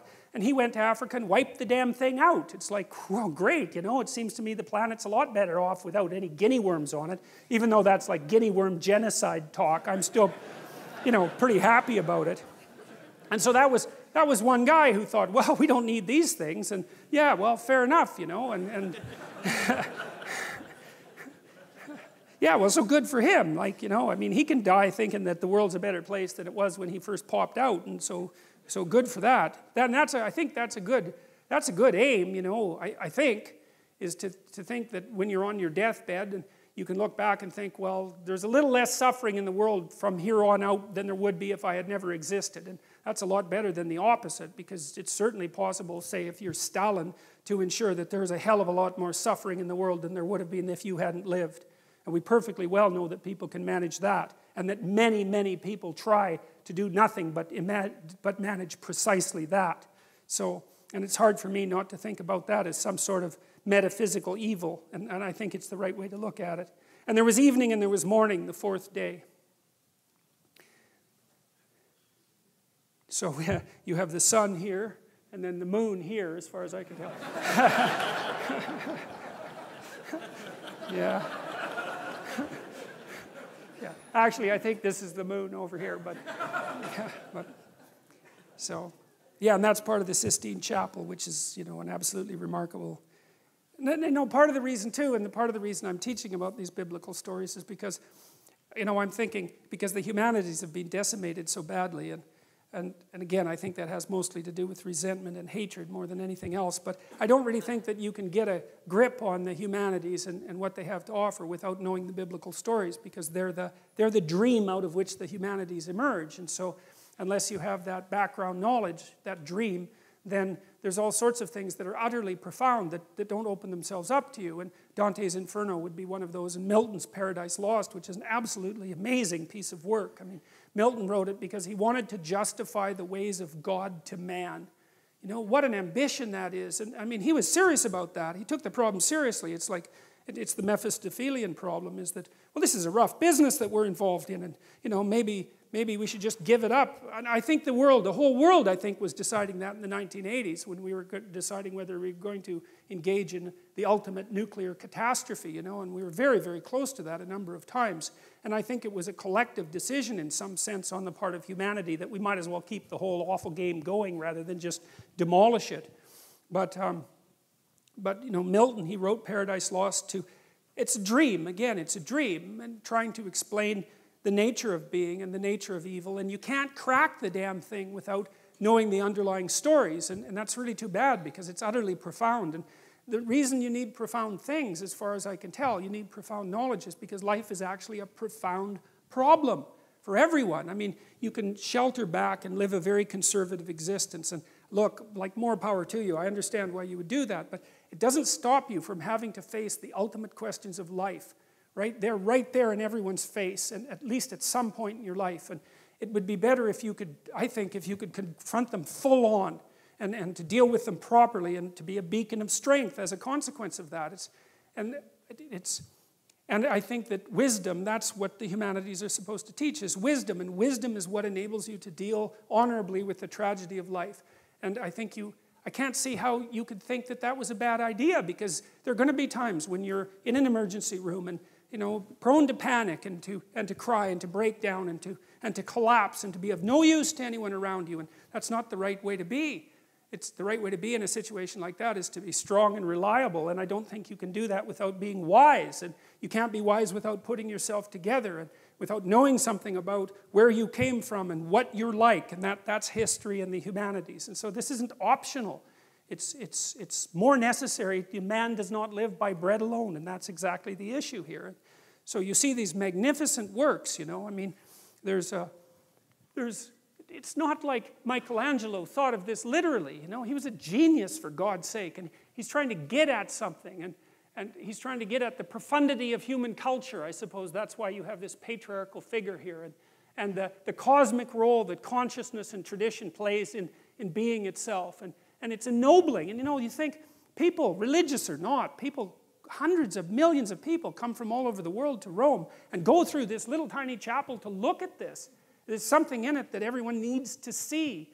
You know, it's not just beauty, it's more than beauty, it's, it's that which feeds the soul. And, and everyone feels that, even if they can't explain it. So. And God said, Let the waters swarm with swarms of living creatures, and let birds fly above the earth across the expanse of the heavens. So God created the great sea creatures and every living creature that moves, with which the waters swarm, according to their kinds, and every winged bird according to its kind. And God saw that it was good. And God blessed them, saying, Be fruitful and multiply, and fill the waters in the seas, and let birds multiply on the earth. And there was evening, and there was morning, the fifth day. And God said, Let the earth bring forth living creatures according to their kinds, livestock and creeping beasts, creeping things and beasts of the earth according to their kinds. And it was so. And God made the beasts of the earth according to their kinds, and the livestock according to their kinds, and everything that creeps on the ground according to its kind. Kind, right? That's kin, right? And to be kind is to treat others as if they're your kin. And so, according to its kind, and God saw that it was good. That's continually, continually um, represented over and over. God said, that's the thing that calls being into existence. And God said it was good, and that's the fundamental judgment about the nature of reality. And, you know, one of the things that happens in the, in the translation, in the movement, let's say, from the Old Testament to the New Testament, is God is obviously blessing creation in, in the beginning of this story. And then you have Old Testament God, and like, don't mess around with him, right? Because he'll give you good smiting if you get out of line. There's no doubt about that. And he's kind of an arbitrary character. And you know, lots of modern people think, well, how could you believe in a God like that? And it's like, when I read that, I think, well, that the Old Testament people, that isn't how they thought. They thought, you better look the hell out because life is really difficult. And if you step out of line, you're going to get flattened. And God doesn't care, in some sense, whether you approve of Him. It's like, what the hell does that have to do with anything? Obviously, you don't approve. It's like you better pay attention, though, because otherwise you're going to be in real trouble. And that, there's real wisdom in that. Nietzsche thought that, Nietzsche really admired the Old Testament as a work of literature because he thought that the representation of the divine, let's say, as a representation of, of the essential nature of being was extraordinarily accurate in its arbitrary and often cruel nature. You know, it wasn't following a morality that human beings were, could really understand as moral, but he thought that was very realistic, and I, I like that interpretation. But what happens in the New Testament is quite interesting because there's an insistence all of a sudden in the New Testament that you're supposed to act towards God as if he's nothing but good. And that's such a strange thing because you, you, know, you look at the world and you think, yeah, really? Just good, eh? Well, the cancer and the earthquakes is kind of hard to, to fit into that picture. And, you know, the terrible things that happen to children and all of that is very difficult to square with the notion of a good God, obviously. But then the, the underlying idea is that if you act in that manner, it makes it more likely to be true. It's something like that. And so it's, I would consider that in some sense an act of both courage and faith. It's like you're going to make the case, like God makes at the beginning of, of the Bible, that being is in fact good. Now, you can't see it because, well, you get to see all the things about it that aren't so good. That's not the point. It's a metaphysical presupposition, something like that. It's a, it's a decision to act that way. I'm going to act as if being is good and to further that. And then the, the implicit idea is well, there isn't anything, there isn't any way that you can make things work out better than to do that. And so there's a courageous element to it, which I think is also expressed to some degree in the idea of Christ's like voluntary sacrifice of his own life. His presupposition was something like, I'm going to act as if God is good, and I'm going to play that out right to the end. And now that becomes something like a, a divine pattern. And I believe there's wisdom in that because, again, I've, most of the time that I've been wrestling with this sort of thing, I've always been looking at the opposite. I haven't been studying good, I've been studying evil. Because evil is easier to believe, especially after the 20th century. It's like, I think you have to be, you have to be blind not to think about the things that happened in the 20th century as evil. And, and, and, uh, some of the things that happened were so brutal, it's just absolutely unimaginable. And well, unless you imagine it. And, and it's, it's, it's right there. It's part of the historical record. It's, it, and then I think, well, if there's something that that's, that's that terrible, it, it, it, indicates as clearly as anything can that there's also something that's its opposite, and that's whatever it is that's the farthest away possible from that outcome. Now, that doesn't mean we can exactly say what it is, because it's easier to grip, in some sense, what it means to torture and break and hurt and, and not to be able to conceptualize so clearly how you would have to act if you were acting in the exact opposite manner. But at least it implies that it exists, and I see that pattern being laid out in this dreamlike manner in the New Testament, and it has something to do with, well, it has something to do, and this is for sure, with the, with the voluntary acceptance of mortality. Because, of course, that's the poisoned apple, right? The fact that everybody looks forward into the future to know that you're finite and so is everything that you love. And it's very difficult for that not to poison your existence. And, well, there's no getting out of it as far as we can tell, but there might be something like switching your attitude to it. And you could say, well, that's the price you pay for being. And the heroic thing to do is to accept that and not even to accept it grudgingly. To say, all right, I'm going to go along with that, I'm going to accept that and I'm going to act nonetheless as if being is good, and then I'm going to see how things turn out. It's something like that. And God saw that it was good. And so it's an act of courage, right? There's, a, there's, a, there's an act of courage that's associated with that transformation of attitude. And even with regards to the notion that the world is good, it's a courageous attitude, especially given that there's so much evidence that makes that conclusion difficult to continually draw. But the alternative seems to me to be far worse. So there's God again with the sun behind him because he's associated with the solar consciousness and he's creating all these strange, wonderful creatures. And, and you know, it's a, And people say, well, you know, the idea of God as a, an old man in the sky, let's say, that's primitive. It's much more better to think about it as a much more better, Jesus. Anyways, it's more sophisticated to think, uh, to think of the divine essence as a disembodied spirit or something like that. But you know, that's not, so, that's not so obvious either, because as I already pointed out, there isn't anything that's more complicated than a human being. And, and so the idea that the divine is something that's at least as complicated as a human being strikes me as something that's actually quite reasonable. And, and I know it's a metaphor, although I don't know to what degree it is a metaphor, and it's also something that's embodied. And I really, that's also a very interesting notion, you know, because it's become increasingly obvious as we've tried to do such things as produce artificial intelligence that it's very difficult to produce an intelligence or perhaps a consciousness that isn't embodied in some manner. It, it, can't, be just, it can't be just a spirit, uh, a spirit without form. And I think that's part of the reason, too, why Christianity puts so much emphasis at the end of time on the resurrection of the body, because there, there's, there, there's, a, there's a drive in there to ennoble, to ennoble the idea of the body, not just the spirit, the consciousness that floats abstractly above the body, but to say that, no, you can't do that. You can't just shed that part of you that's heavy and, and material, so to speak, and, and, leave it behind as if it's of no value. You have to ennoble, ennoble that as well. And that idea is also linked to the, no, to the representation of God as, as a human being and as a wise human being and as something that's embodied. And so, at least from the metaphorical perspective, I don't think it's reasonable just to, to brush your hands across it and say, well, that's, that's primitive, because I don't think it is. I don't think it's primitive at all. And then God said, Let us make man in our image, after our likeness. And it's our because, well, this is, a, this is part of the priestly story. There's, as I said, a number of sources for the Old Testament. And, and in the priestly version, if I remember correctly, it's Elohim. That may be wrong. Doesn't matter, but the, precisely, it doesn't matter because the notion is, is that the, the God who's in the background of this story has a kind of plurality of being, right? And it looks like the idea of monotheism arose with great difficulty across time because there, there are lots of powers.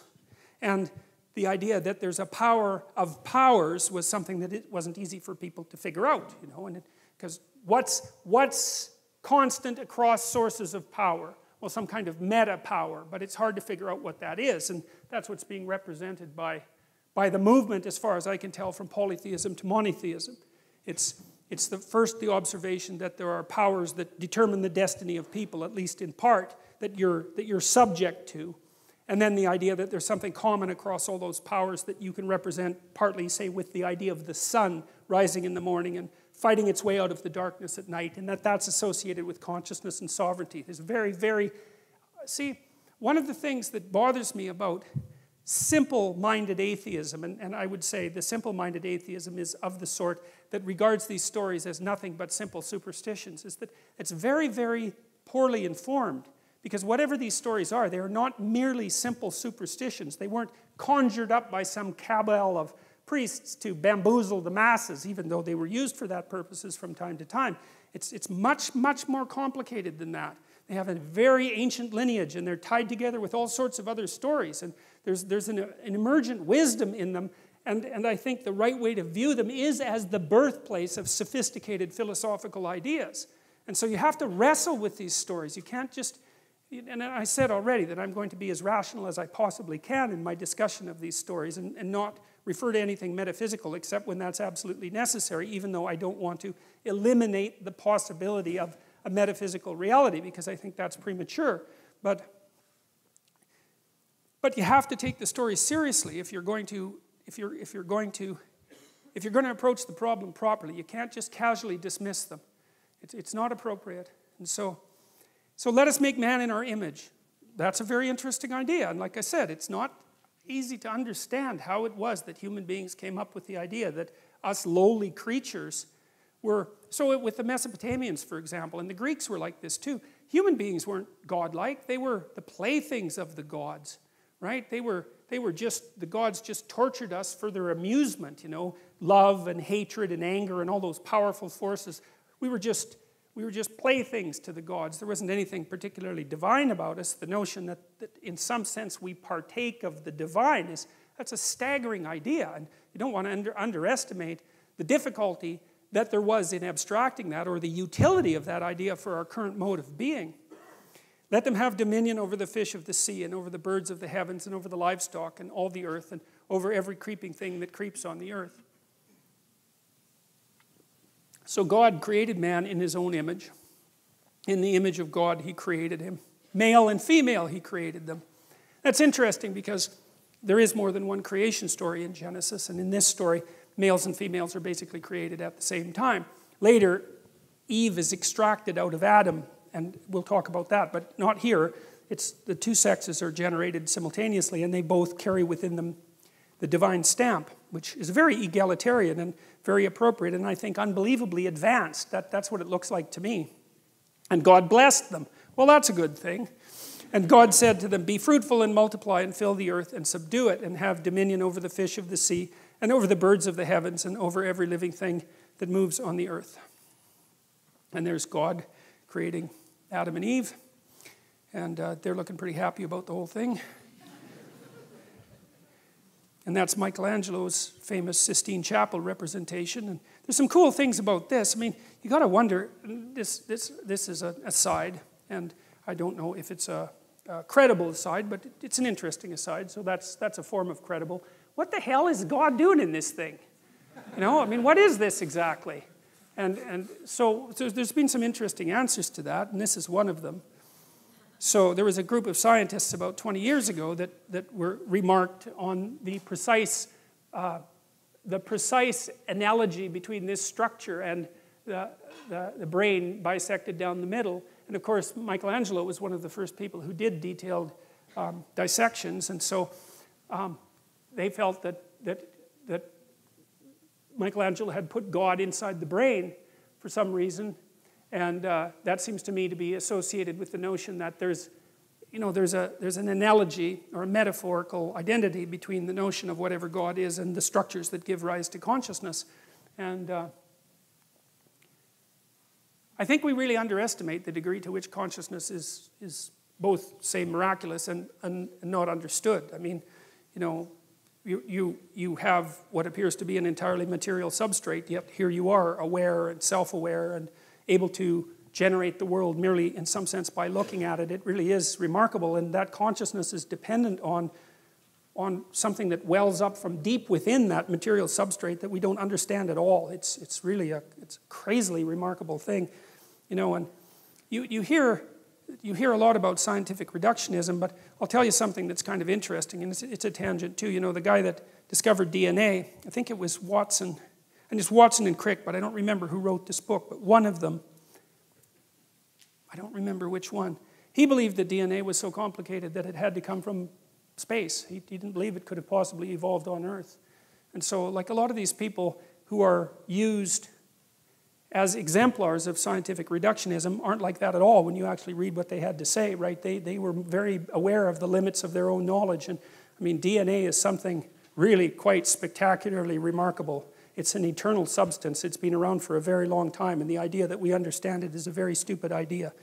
And I would say that I would say that the same thing applies to the brain. Like we're, we're, we're scratching away at the surface of something we don't understand at all. And so it's quite interesting, I think, that, and maybe Michelangelo had enough gall to do that. It's certainly possible. I mean, he had enough gall to do dissections when the, when the cost of that was death. You know, he had to rob corpses essentially to go and do it. So oh, he was, he wasn't, I would say, not particularly politically correct. So, so that's kind of interesting. And there's another representation of the same thing. And that's a funny one. I had to throw that in. I don't know how many of you know this, but there's, there's, there's this joke in the atheistic, atheist community. I think it might have been started by Richard Dawkins, but that might be wrong. That it was just as reasonable to believe in the flying spaghetti monster as it was to believe in God. And that's the flying spaghetti monster, by the way. And, and, uh, and so that's, that's called touched by his noodly appendage. And, uh, anyways, it's, fu- it's not very sophisticated, but it is funny. So. And God blessed them, and, and God said to them, Be fruitful and multiply and fill the earth and subdue it and have dominion over the fish of the sea and over the birds of the heaven and over every living thing that moves on the earth. And God said, Behold, I have given you every plant yielding seed that is on the face of all the earth, and every tree with seed in its fruit. You shall have them from, for food. And to every beast of the earth, and every bird of the heavens, and to everything that creeps on the earth, everything that has the breath of life, I have given every green plant for food. And it was so. And God saw everything he had made, and behold, it was very good. And there was evening, and there was morning, the sixth day. Thus the heavens and the earth were finished, and all the host of them.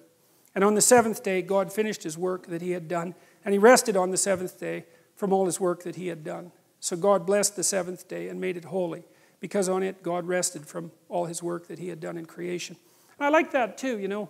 Um, one of the, I, I did a lot of counseling work with people who were, coaching work, I guess, with people who were fairly spectacularly successful, and they were usually workaholics. You know, they're the sort of people that were like, they'd work 80 hours a week, just nonstop. That's just what they were like. And one of the things we were always trying to figure out was, well, how much should you work?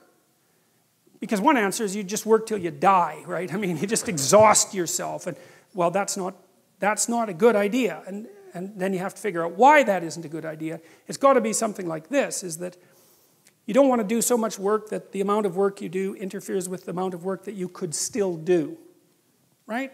Because if you work like mad for two weeks and then you, you like you have to lie in a hospital bed for a month, that obviously isn't very productive. So you have to figure out how much you can work diligently and then how much you have to recuperate so that you can get back up and work again. And you know, that's people have basically settled on something like this and given it the divine imprimatur. That, that's one way of thinking about it, which is, well, you can toil away for six days, and no wonder because you have to work, but you should rest at least one day out of seven because otherwise well, you don't appreciate life, that might be part of it. And, and plus, I think it's more a matter of iter- iterability, you know, because one of the things that defines morality is the capacity to repeat something, right? So if something is properly structured in a moral manner, then you can do it over and over and over again without any degeneration.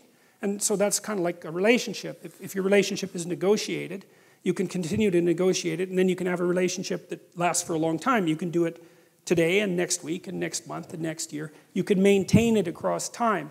And this, I would say, is the wisdom that's been, that's been garnered over God only knows what period of time to say, well, look, I mean, even God needed to take a break and appreciate what was going on. And it's not such a bad thing for people to follow that, that pattern. And that's a good thing for modern people to know because we seem to be, even though, you know, we're very wealthy by historical standards, our capacity to relax isn't exactly what it could be, and I think that's really hard on people. Okay, so I'm going to go over again the, the idea of the attributes of God. I talked about that a little bit last week, but I, I want to return to it because I think it's worth, it's worth uh, dwelling on a little bit because we're trying to figure out what it is that people were trying to formulate when they were formulating these representations. And we've sort of come to the conclusion that there, there, there is an attempt to abstract out the nature of power from specific aspects of power, and there's some attempt to associate that with consciousness as that which gives rise to being itself, and there's some attempt to associate that consciousness with something that has a cosmic quality, whatever that might mean. And, and it's a statement that it has a cosmic quality rather than, rather than a discovery. It's a mere statement that there's that there's something about consciousness that has world generating significance and also the implication that it's associated with human beings as well.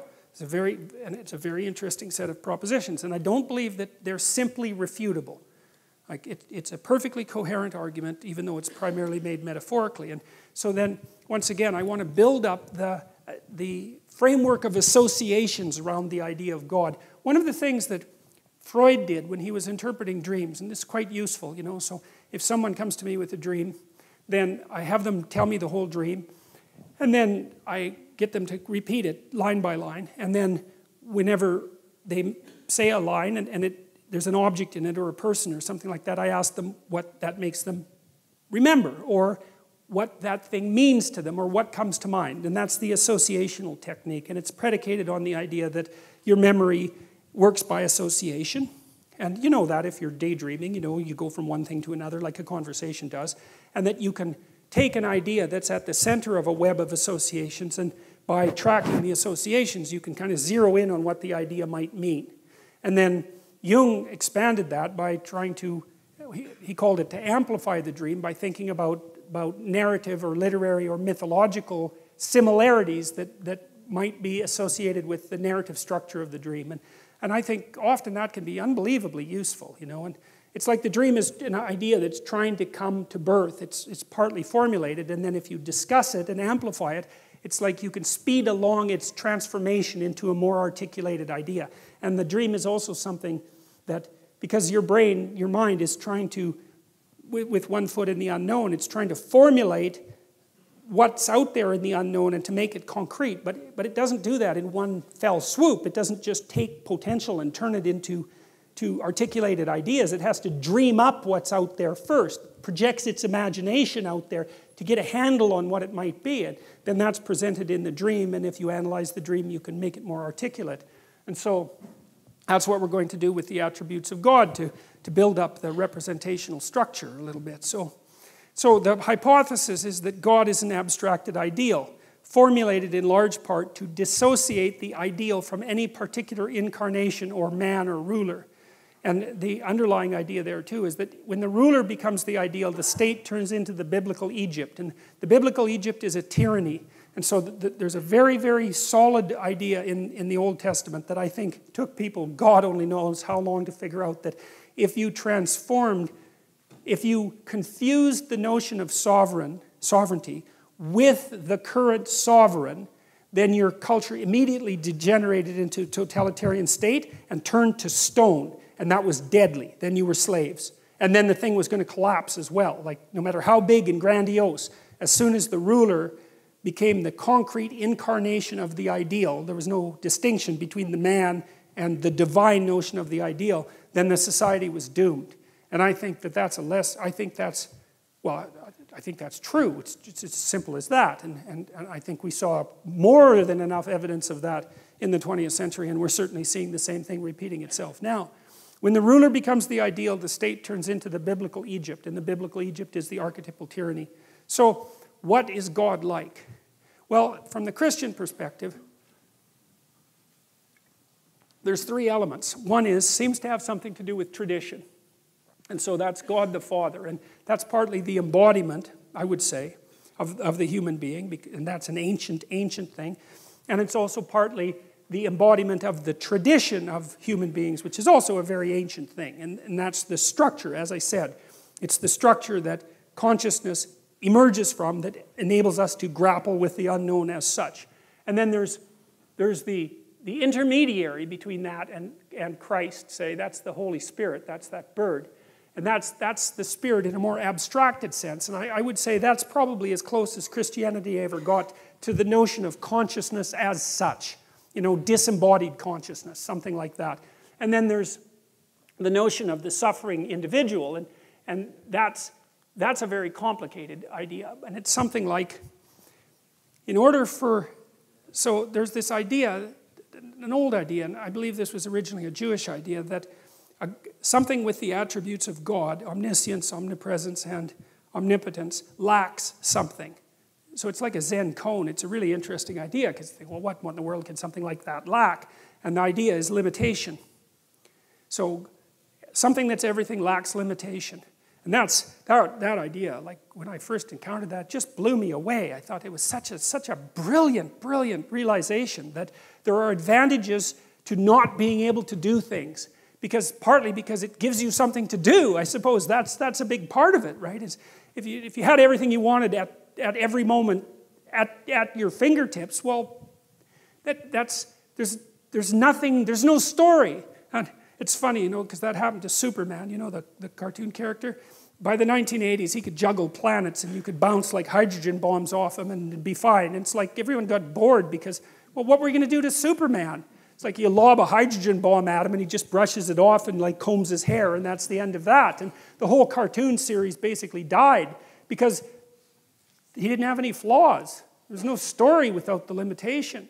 And I think that's an absolutely remarkable idea. And so part of the notion of Christ, and, this is something that I puzzled over for a long time, and I learned a lot of this from Jung, is that there's idea in Christianity that there's consciousness as such, which, which in some sense is eternal. It stretches from the beginning of the time to the end of time, but it's this abstracted notion. But it lacks a certain kind of reality because it's not instantiated somewhere. Not, it's not instantiated in a specific time and place in history. And so the, the idea of the Son, the, the third part of the Trinity, or, or one of the three parts of the Trinity, is the notion that tradition and consciousness as such also has to be embedded in history in a particular time and place. And so there's the archetypal embeddedness, and that would be the incarnation, and that's the perfect man, right, who accepts his mortality and acts in a virtuous manner. But it's, an, it's, it's, it's, a, it's the archetypal story of every individual as well. And you know, there's a very strong strain in Christianity. I would say this is more pronounced in Orthodox Christianity that the, that the purpose of, that the proper path of life is to take the tradition, let's say, and the spirit that's associated with consciousness as such, and to act it out in your life, in your own personal life, in a manner that's analogous to the manner in which Christ acted it out in his life. And what that means in part is the acceptance of the tragic preconditions of existence. And so that's partly betrayal, right? Betrayal by friends and by family and by the state. And it's partly punishment for sins that you did not commit, as well as the ones you did commit, and sometimes that's just a relief, but you know, the arbitrary nature of justice, and also the, the fact of finitude. And the, the notion is, is that your duty, let's say, and the way to set things right in the cosmos is to accept that as a necessary precondition for being and to act virtuously despite that. And that's a very, very powerful idea as far as I'm concerned. And I'm also, you know, the world's a weird place, and I've seen some very strange things in my life. And one of the things that I've seen is that, you know, I've dealt with some people who were very, let's say, that they weren't on a good path. Let's put it that way. And one of the things that was really interesting about being around people like that, it was like almost like they were surrounded by a gravitational field of sorts. I'm speaking metaphorically, obviously. And their worldview was so warped and twisted that if you came within contact of them, you all of a sudden started to play a part in their drama. And it was almost inevitable. They would maneuver and manipulate and interpret in a way that made you into the villain in their story, no matter what it was that you wanted to do.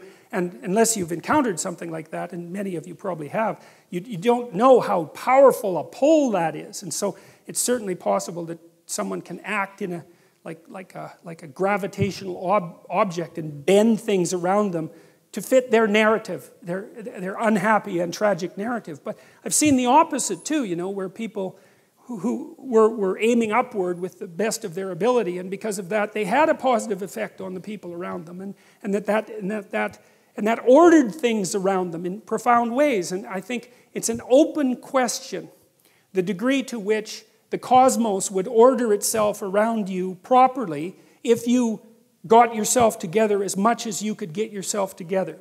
Like, I mean, we know that things can go very, very badly wrong if you, if you do things very badly wrong. There's no doubt about that. But the converse is also true. If you start to sort yourself out properly and then you have a beneficial effect on your family, I mean, first of all, that's going to echo down the generations, but it also spreads out into the community. And we are networked together. You know, we're not, we're not associated linearly, we all affect each other. And so it's an open question the degree to which acting out the notion of, of the notion that being is good and the notion that you can accept its limitations and that you should still strive for virtue. It's, it's an open question how profound effect that would have on the structure of reality if you really chose to act it out. And I've seen things, as I said, in my life that indicate that I do believe there's a metaphysical element to life as well as the rational, practical element. And I think there are times when those two things come together, and I've seen that happen. And so I don't think we know the limits of virtue. I don't think we know what true virtue could bring about if we, if we aimed at it carefully and practically. And so the notion that there's something divine about the individual who accepts the conditions of existence and still strives for the good, uh, I think that that's an idea that's very much worth paying attention to. And I think the fact that people have considered that idea for at least 2,000 years quite seriously is also an indication that there's there's at least something to be thought about with, in relationship to that. So that's kind of the Trinitarian idea.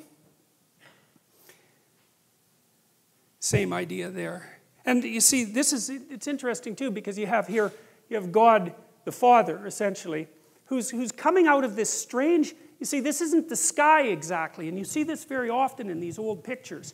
It's not exactly the sky, whatever the heaven was that, that, that, that people believed in. It's something that's, it's like the sky opens and there's a dimension beyond the sky. It's something like that. And I wanted to show you this too, just to show you that this isn't only a Western conception. You know, and it has something to do with mystical experience because there's, there's a bodhisattva. It kind of looks like he has a hat, but that's not a hat. That's a whole bunch of bodhisattvas going back to eternity, right? And this hole in the sky here is like a hole into time, and these things are recurring across time. It's the eternal recurrence of this, of this redemptive archetype, and the sky opens up, and, and you can see that thing recurring and recurring and recurring. Same idea is basically that's the blue Buddha, who's a healing who's a healing uh, entity, sitting in a mandala, which is like a representation of paradise. And it's the same idea. It's like reality opens up and reveals this image of perfection. And so it's a, well, it's a universal conception. And, and well, I think it's a representation of the, the, the, the possibility of the metaphysical and the physical coming together in, in, some sort of, in some sort of communication. It's something like that, anyways.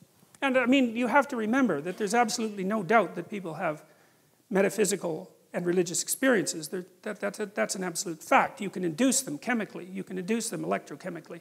Lots of people who have epilepsy have uh, epileptic prodromas that are associated with divine enlightenment. So, Dostoevsky, for example, he had, he had epilepsy, and that was really, I think, one of the things that made him a great author. Because and Dostoevsky would have this feeling that he was going to have an epileptic seizure, and he said that the, the feeling for him was that the world was opening up and he was becoming more and more and more enlightened, and he was just on the verge of grasping the essence of existence, and then he'd have an epileptic seizure. And for the subjective feeling was that that much knowledge was just too much for him to bear.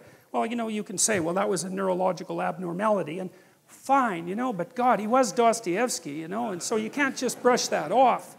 So, Yeah, well, so that's the Trinitarian idea fundamentally. And this, this notion here is the notion that, well, the cross is, the cross is a funny thing because the cross marks the center, you know, and it's an X, and the X is the center of the world, like the X that a cathedral is. And it's the center of the world is where you are, because as a consciousness, you're the center of the world. And that center of the world is a place of betrayal and suffering and limitation. That's, that's exactly what it is. And the question is, well, given that, and given the fact that you know it, what the hell are you supposed to do about it? And what that representation, I believe that's Goya, what that representation implies is that you're supposed to voluntarily accept that and then move forward. Um,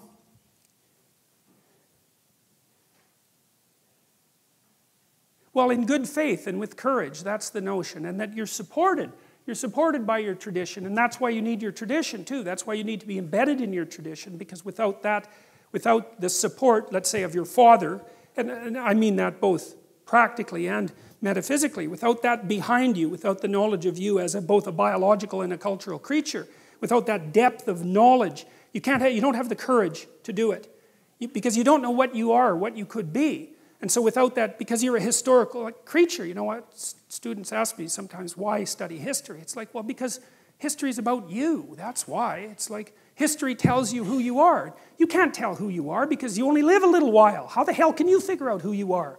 So, you need all this collected wisdom and all this dream like information and all this mythology and all this narrative to inform you about what you are beyond what you see of yourself. And you know, you're pummeled down and people picked on you and there's 50 things about you that are horrible and you know, you've got a self-esteem problem you're sort of hunched over and you've got all these problems, you know. And so it's not easy to see, let's say, the divinity that lurks behind that unless you're aware of the heroic stories of the past and the metaphysics of consciousness, let's say, I don't think that you can have the courage to regard yourself as the sort of creature that can stand up underneath that intense existential burden and move forward in, in courage and grace.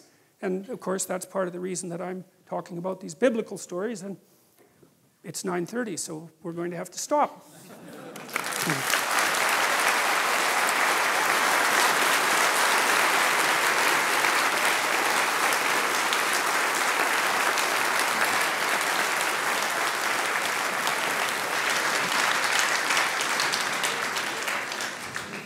Okay, so we're going to stop exactly at 10 tonight. because that, that, that's the deal with the theater people. And so, and besides, I'll be out of anything intelligent to say by that point, certainly. So, well, at least we got through one story, so that was good. So, yeah.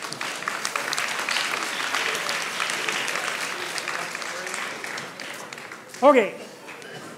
Let's give everyone like two, you know, just a few seconds to settle down, and, and uh, everyone who wants to leave can leave. So thank you for all, all for coming, by the way. I'm, I'm constantly amazed that, that, you know, everybody comes and listens to this because, you know, it's just, well, it's strange. Let's put it that way. So, so far it's been fun though, so that's good. So, okay, let's go.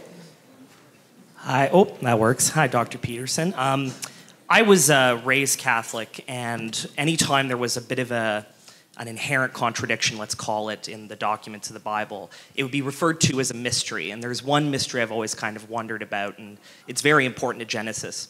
How do you how do you deal with a perfect God or the conception of a perfect God who by nature is incapable of an imperfect design? Sorry, or incapable of a perfect design. So what I mean by that is many religions present, for example, good and evil as separate deities that pre-existed simultaneously.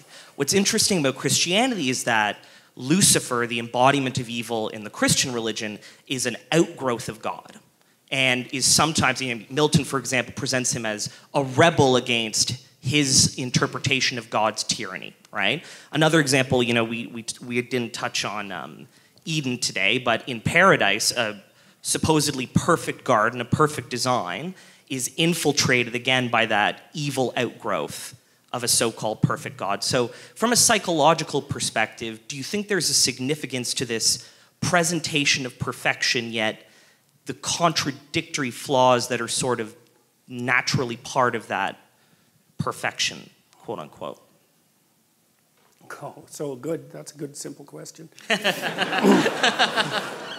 we're, we're starting good. See, Jung, Carl Jung, he was kind of Manichaean in his approach, and he, he, he tended towards thinking that evil, in some sense, was a separate entity. You know, and I thought about that for a long time because there's, there's a potency about evil that just can't be brushed away. And, and I, mean, I mean this most practically, as, as I've said, like in, for people in my clinical practice, I've, I've dealt with many people who are touched by malevolence, and there's no other way of, of, of stating it properly. And this happens a lot to people who have post traumatic stress disorder. Like they encountered someone that wanted to hurt them for the sake of hurting them. You know, it wasn't some misunderstanding. You can forget about that. It wasn't that at all. And so to, to deny the reality of evil in some sense, I think, is the ultimate in naivety, even though it's a, a word that you won't hear used, for example, very often in universities anymore. But I, I, just, that just, I just can't understand that at all. But, but I thought about that a lot, and, and so I'm, I'm going to kind of answer that question by hitting it scattershot the first thing is, is that there, there's an idea, and that this happens in Milton, this that comes across in Milton, that distance from God is hell.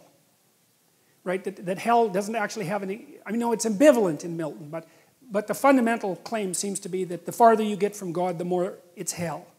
And then there's another idea that Milton, Satan, who's Lucifer, the bringer of light, right? He's God's highest angel, gone most wrong. And I kind of think about him as the spirit of rationality of intelligence. It's not because I'm not an admirer of intelligence, because hooray for intelligence, but one of the things that, that Milton seemed to cotton on to before the rise of modern totalitarian states was that intellect has the capacity to fall in love with its own creations and to elevate them to the highest place, which is basically a totalitarian claim. It's like, what I know is everything that needs to be known, and if it was only manifest in the world, the world would become a utopia. And I also think that's, and we'll talk about this next week, I also think that that's the core idea behind the Tower of Babel. Remember, the Tower of Babel is raised by human beings so that the pinnacle will hit heaven. And so it's the idea that we can build a structure that makes the transcendent unnecessary. And so, okay, so there's those two things. And then there's, there's an idea of free will that's associated with it too. And it seems to me that in order for there to be good, there has to be evil. And so it, it, I think the answer is something like this is that in order for there to be being, there has to be limitation. In order for there good to be good, there has to be the possibility of evil. I think the right path is to exist such that the possibility of evil remains open, but that you choose the good. And I don't think that evil per se is built into the structure of the world. I do think that that's human. I think that evil is human. And I think it's understandable. I did a lecture that's online about the distinction between evil and tragedy. And, and tr- tragedy seems to be built into the structure of the world, and perhaps you can blame God for that. I mean, it doesn't seem to me that it's your fault that there are earthquakes, for example. But, but it is ob- not obvious to me either that it's tragedy that takes the spirit out of people. I think that human beings are actually equipped to deal with tragedy, but we're not equipped to deal with malevolence. That destroys people. And so I think that I think that metaphysically speaking, the world is structured so that people have a choice between good and evil. And that so then the next question is, why do we have a choice? And that that's where my knowledge runs out. I don't I don't uh, like the, the alchemists, for example, speculated that, and and the Orthodox Christians also follow this line of reasoning, is that human beings, in some sense, are furthering creation by our actions and by our choices. And, and I think there's something to that. It, it's, like, it's like creation is unfinished in some sense, and that we're participating in, in moving it in whatever direction it is that we want to move it. And part of that is that we have free will, and part of that is that we have the choice between good and evil. And that's also all associated with, with the significance, maybe the cosmic significance of our lives. And I, I, that strikes me as plausible. And, and I think the, the weight of responsibility that people feel existentially is an indication of that. So that's about the best I could do with that. So. And it seems the way you're describing it, it's built into at least the text that you presented, because one of the other things I'd noticed was God consistently describes creation as good, right? Mm-hmm. He creates light, it's good. He creates dark, it's good. Oh, okay. After he creates things he announces that he creates man and woman and announces that they have dominion yeah. over those things and can use them yes and it might be something lost to translation but that is described as very good yes. as soon as that dominion is brought into existence yes, right, exactly. it might speak to that notion of furthering yes creation. well and, and here's something interesting too and we'll develop this a lot is that you see when adam and eve eat the fruit the snake gives them the fruit the first thing that happens is their eyes are opened okay and to me that means that well they've woken up right? There, has been an increment in their consciousness. And the next thing that happens is that they recognize that they're naked. Okay, and to recognize that you're naked is to recognize that you're vulnerable. And human beings are strange creatures, because eh? most animals are like this, and they're protected, but not us. Like our most vulnerable parts are displayed for harm and for everyone to observe, right? So we've got that sort of bipedal self consciousness built into us. But what's really interesting is that when Adam and Eve realize that they're naked, it's the same moment that they know the difference between good and evil. And uh, that, God, that just, that just, I just ground away on that for years, trying to figure, what the hell is, what's going on here? What's the relationship between consciousness, knowledge of nakedness, and the knowledge of good and evil? And then I think, I think I figured it out. I think, I think it was that, you see, when you know that you're vulnerable, and, and they also develop knowledge of death, right? So there's deep knowledge of vulnerability, and they get embarrassed about that. They cover themselves up, right? So that's culture. So it's a very profound shock for them to recognize that they're naked. It even makes Adam hide from God. And then they develop the knowledge of good and evil. Well, I think it's because you see, human beings have this peculiar capacity that no other creature has, which is I know how I can be hurt because I'm aware of my own limitations, painfully aware. And now, because I know how I can be hurt, I know how you can be hurt. And I can take advantage of that. And that's, I think, how evil enters the world. That's what it looks like to me. It's like I've got this expansion of knowledge. It says in Genesis that that, that, that gives people another attribute of divinity, knowing the difference between good and evil. It, it has nothing to do with animals, and it has nothing to do with Adam and Eve prior to having their eyes opened. But the, the cosmos switches when that self consciousness manifests itself. And that's when the possibility of evil enters the world. It's something like that. And that's also echoed by the intimate relationship between the snake in the Garden of Eden and Satan, which is, we'll go into, because that's a, what, that's a very strange association. It's like this snake also becomes the adversary of being.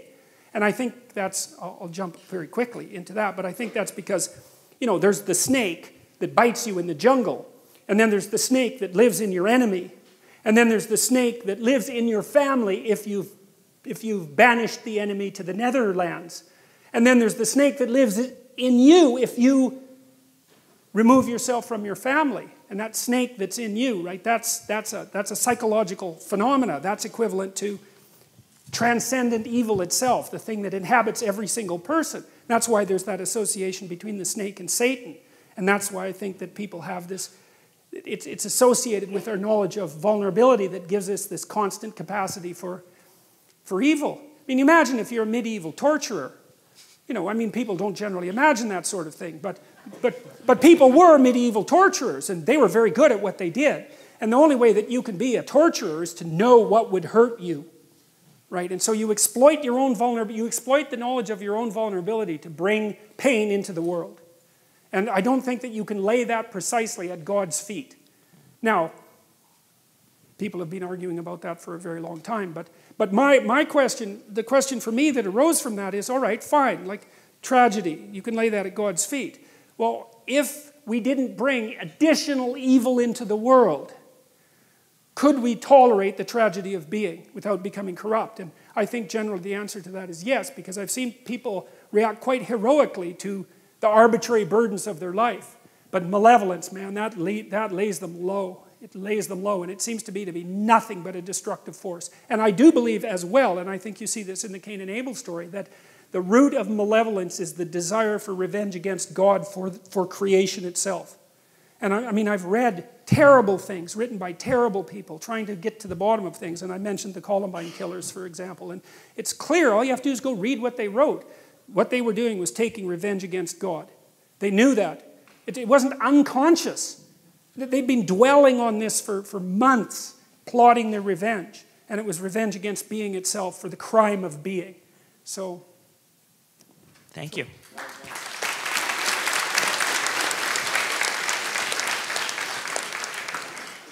Hi, Doctor. You'd said the, when God saw that it was good, you read that as potentially, well, it might be better than nothing. Uh, and the story in Genesis, it's bracketed by days, which aren't necessarily literal days, yom, the original word, you know, but it's also bracketed by, and he saw it was good, you know, at the end of the day. So my question is, is there something more profoundly happening there between this profundity of speaking into existence, the way you know the, the start is, to this observation, this seeing that it's good. And are we is God modeling consciousness? Is there a little more there for us to to, to grapple with? Okay, so so go, more for us to grapple with in what way? I in the sense that we have this amazing this insight of speaking things forth but you'd also commented on consciousness as until something's observed or until so there, until it's seen. Um, so when God sees that that creation was good, is there there kind of this bracketing between the the bringing forth through the you know through the word through Jesus? Okay, okay, that's good. I see what you mean. Okay, well I think I think what that is is that I think okay, so it's perfectly reasonable from an archetypal and psychological perspective to consider the idea of the word equivalent to the spoken truth. I mean, Christ makes that claim in the New Testament that, that he's the truth, right? And embodied. And so then you can, logically, you can derive from that the idea that if things are spoken into being through truth, then they're good. And so, yeah, I think that that association exists. And I think that that's, well, I also think that that's, that's the, in some sense the deepest claim of faith I, I believe that because I think that I think you have to make a decision in your life, as far as I can tell, and I think Kierkegaard knew this more clearly than anyone else I've ever read, and that is that if being is good, then an honest relationship with being also has to be good. And then if you have an honest relationship with being, then you're going to speak the truth. And then I think what you have to decide is that speaking, if you speak the truth, then what happens is good regardless of what happens. And that, that's, the, that's the rub of faith, and I think that's something that Kierkegaard wrestled with, you know. And that, I mean, I'm trying to think if I can provide an example about, about that and, and, and easily and quickly. Well, I guess it's partly because it's partly because you can live your life two ways. You can, you can, you can use your language to manipulate, you can use your language as a tool to get what you want. But the problem with that is that that assumes that you know what you want and that you're right. And that's a problem because there's lots of things you don't know. And if you get what you want, you may find A, that you didn't really want it, and B, that you're not the person that started the journey towards that. That happens a lot to people, especially when they use their language in a manipulative way. And so the alternative seems to be, and I think this is one of the lessons, for example, that's laid out in the movie Pinocchio, which happens to be a kind of archetypal favorite of mine, is that part of the act of faith, let's say, and I wouldn't say Christian faith necessarily, I would say faith in being itself is, is the decision. It's like the decision that God is good. The decision is there's no better way to bring better being into being than to speak the truth. And I do think that's echoed. I think that's a very wise observation. I think that's echoed in that first story. First of all, the act of speech, and second, the observation that the consequence was good. So, yeah, yeah. Thank you.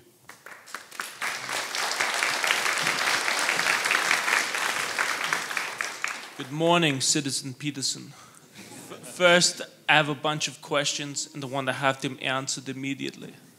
Like, you have a post on Quora in which you encourage all children to incur skateboarding injuries. but, but, also stated in this post, uh, you wrote that do not try to rescue someone who does not want to be rescued, and be very careful about rescuing someone who does. And can you reconcile this with what you stated about transcendent morality and the heroic impulse that I guess men are supposed to be born with? Okay, okay, okay. So, um, well, the skate, the skateboarding question yeah. is. I wrote. I have a book coming out in 2018 called 12 Rules for Life: An Antidote to Chaos, and one of the chapters in there is from that Quora posting, and it's called "Don't Bother Children When They're Skateboarding." And it's sort of associated with what I had said earlier about parkour, for example, is that you know kids need to go out and push themselves against danger because that's what life is is pushing yourself against danger. And and when you see kids doing things that are dangerous but spectacular then it, you kind of have a moral obligation to back the hell off and let them experiment with their own mortality because you can't keep them safe. The best thing you can do is make them able and courageous. And and I would say that that's a more difficult lesson, generally speaking, for mothers to learn than for fathers to learn, and that was Freud's fundamental observation, but it's, it's absolutely crucial. And so I've seen kids do, I mean, you know, you can obviously be a fool on a skateboard, although the distinction between being a fool and developing yourself is not as clear as people might like to imagine. And, and when kids are out there with no helmet and doing dangerous things, it's like there's a part of me that, of course, is very worried about it, but there's another part of me that admires it very much because they're practicing what they need to practice in order to cope with the world. Okay, so there's that. Now, the other one was rescuing, rescuing people. people. Yeah. Well, I got this partly from Carl Rogers, you know, because Rogers was, he's a clinician, a very famous clinician, and and he, he, was, he was a Christian missionary to begin with, but he didn't end up that way. But he was very interested in the utility of listening as a, as a means of redemption, essentially. And listening, by the way, is if you have someone that you know that has a problem, the best thing you can often do is listen to them uh, if they're actually trying to communicate, because people um, configure themselves through speech. And most people can't think, and I don't mean that in a mean way. I mean the way they think is by talking, and they can't talk unless they have someone to talk to. And it's partly because they're bouncing the idea off them and seeing if it makes sense and seeing how the person responds. So listening is a great thing. But Rogers was also interested in the in the preconditions for having a redemptive relationship, and that could be a therapeutic relationship or an intimate relationship. And one of the things he claimed was that unless the person was aiming upward, there was nothing you could do about it. That, and that seemed to be associated with this idea of that initial choice, say, between good and evil. See, once someone comes to therapy, they've already done something. They've already said, I have a problem, conceivably I could fix it, and I need to do something about it. And then so half the work is already done by the time they show up because they've already said, well, things aren't as good as they could be and I could do something about it. The question is, can you do anything about someone who isn't at that state? And my observation, and this is Roger's observation as well, is that you can't. I think you can serve by example, but until the person has decided on their own that they're wrong, that's why they're suffering, that there's something wrong about what they're doing, and that they want to fix it. I, don't, I think that even trying to hammer against that often makes it worse. So, and I know that Solzhenitsyn, when he was talking about the communist ideologues, the really hardcore communist ideologues that were eaten up by the Gulag Archipelago system, you know, sort of devoured by their own, he saw the same thing, was that until they were willing to admit that something was wrong with the manner in which they had construed the world, that it had resulted in their own demise, that there was actually no way of communicating with them. They're in kind of an authoritarian bubble. And so, so I, I don't think that. So even if you orient yourself as an archetypal hero, there's no way you can get through that uh, barrier. That well, I think up? that that's part of the issue of free will. I think that I do not think that people can learn unless they admit that they're wrong. There was this. There's this play, The Cocktail Hour by T.S. Eliot, and he has this woman in the play, and she comes up to a psychiatrist and she says, just in the course of casual conversation, she says, I really hope there's something wrong with me. And of course, the psychiatrist is a bit taken aback by that. And he says, Well, why in the world would you hope such a thing? And, he, and she says something like, Well, like I'm suffering, man. Things are not good for me. I'm having a dreadful time of it. And as far as I can tell, there's only two possibilities. Either the world, in its essence, is conspiring against me and I'm doomed because what am I going to do about the world? Like it's just built into the structure of reality. Or I'm doing something wrong so I'm really hoping that I'm doing something wrong because if I am, then maybe I could fix it and I'd stop suffering. And it's, it's something like that. And see, it's also, I think that if your life isn't what it could be and you're suffering, then it seems to me that that should be sufficient evidence that you don't know enough. And with, if that isn't sufficient evidence that you don't know enough, then I don't know how anyone else could provide you with that evidence. And so I'm, I'm going to leave it at that. This is psychological rescue, not like rescuing someone who's drowning, for example. Mm. Yes, you can rescue people when they're drowning, even if they don't want you. Perfect. I'll tell you something about that, though. Something interesting about that, and that's relevant, is that you know I don't know how many of you know how you rescue someone who's drowning. You do it like this, right? You come to them like this, and you push them away with your foot. If they're, I'm telling you, that's what you do if you're a lifeguard, because if they're panicking and they grab you, you both drown. And that's stupid, because then you both drown. Right? And so, and that's a really good way, that's a really good metaphor for trying to help someone too. It's like when people are in real trouble, you know, some of it's they're confused and some of it is that their life has collapsed around them and there's some malevolence there and there's some desire for vengeance. It's just like one dangerous mess. And if you're going to wade in there unprepared, the probability that they're going to take you down compared to you elevating them is very, very high.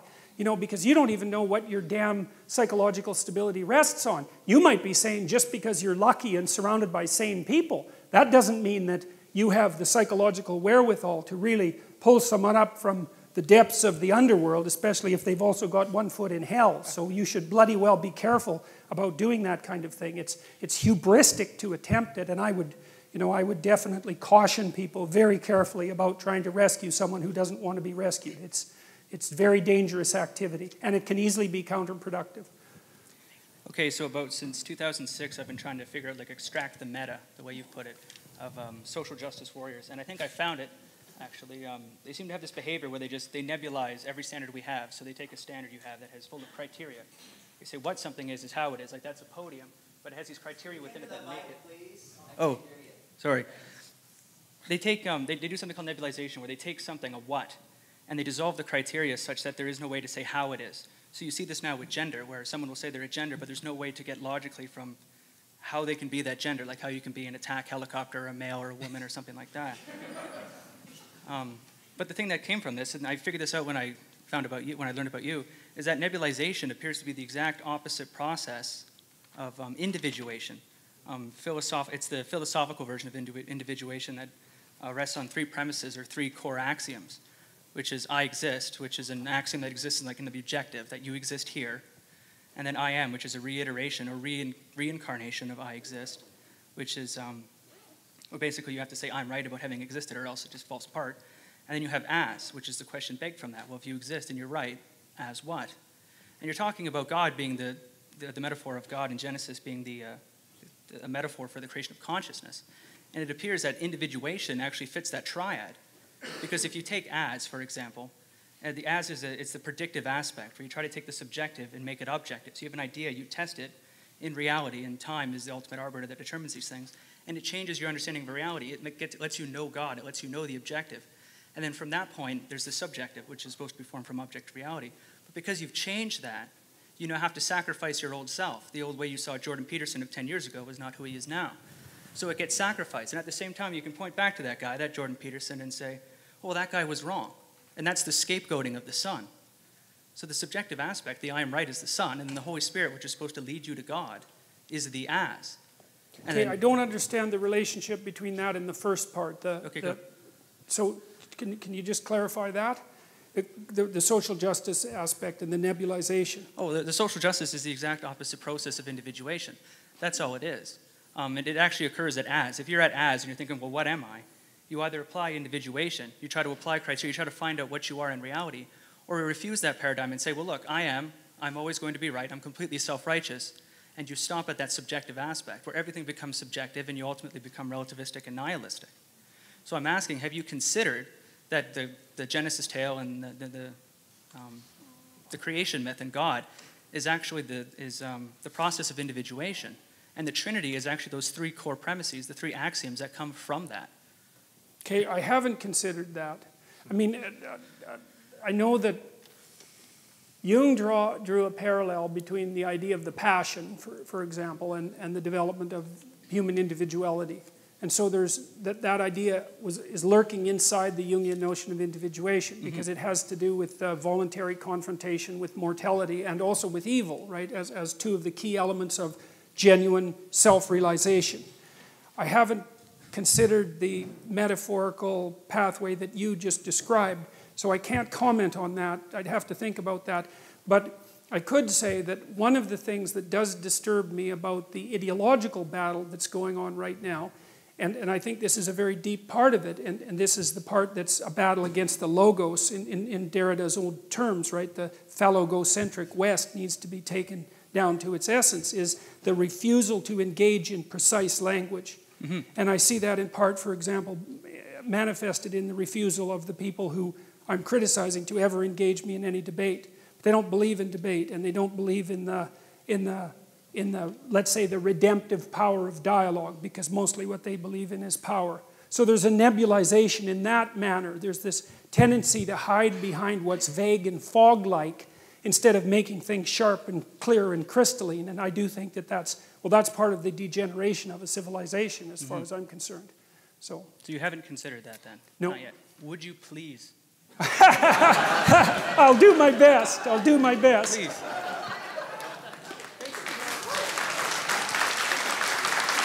Thank you. Oh, thank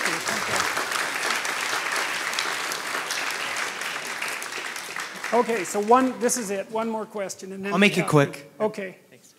Hi, Dr. Peterson. Um, my question is, um, I know you stated in the last um, uh, lecture that the importance for setting aims in life yeah. and um, uh, to kind of have goal, goals to uh, work towards, right? So my question was, um, where, where do you, how do you do that if you don't know where you want to go? Because that's kind of where I got stuck on your, your future auth- authoring program. Because okay, that's that's a good question. That's a really good question. Um, I think it's echoed to some degree in, in the structure of the biblical stories and, and in this manner. So there's this notion in the Old Testament that morality is following a sequence of prohibitions. There's a bunch of bad things you shouldn't do, and then basically you're good enough. And, and, and I think there's wisdom in that. I, I think that's kind of where children start, right? You, you, I mean, I love children and all that, but they're, they're, they're crazy little creatures and they need to be, you know, civilized. And well, partly what you do is you, you lay prohibitions on them. And mostly what you're trying to do is lay prohibitions on them for the behaviors that, if they manifested, would make their life miserable. So I have another chapter in this book that I'm writing called Don't Let Your Children Do Anything That Makes You Dislike Them. And the idea there is that your, your job as a parent is to help your children become the sort of four year olds that adults genuinely smile at when they come into a room because that makes the entire social environment both truthful and welcoming. And so your job is to make them desirable social beings, and a lot of that is prohibition. Okay, and there's this ethical transformation. It, it happens to some degree in the, in the tradition of the uh, in the prophetic tradition, where there's a spirit that seemed, in some sense, to rise above the law. But there's a real transformation between the Old Testament and the New Testament, because the Old Testament is prohibition, and the New Testament is, well, here's the good things you do once you're more than merely prohibiting yourself from, from impulsive sin, let's say. There's a positive good to be um, accomplished. Well, you might say, well, I don't know what the positive good is. Fair enough, man. So, so this is why this thing that I've said to people has become this crazy internet meme, but that's to clean up your room. And which, which is a lot better and more useful than people think. It's a lot harder too. But the, the thing, the first thing you do, I think, and I learned this in part from Solzhenitsyn when he was trying to iron out his soul when he was in the gulag, because he was trying to figure out how he got there, how he contributed to how he got there you know, not Stalin and Hitler, even though they were kind of to blame, you know, but there wasn't much he could do about that.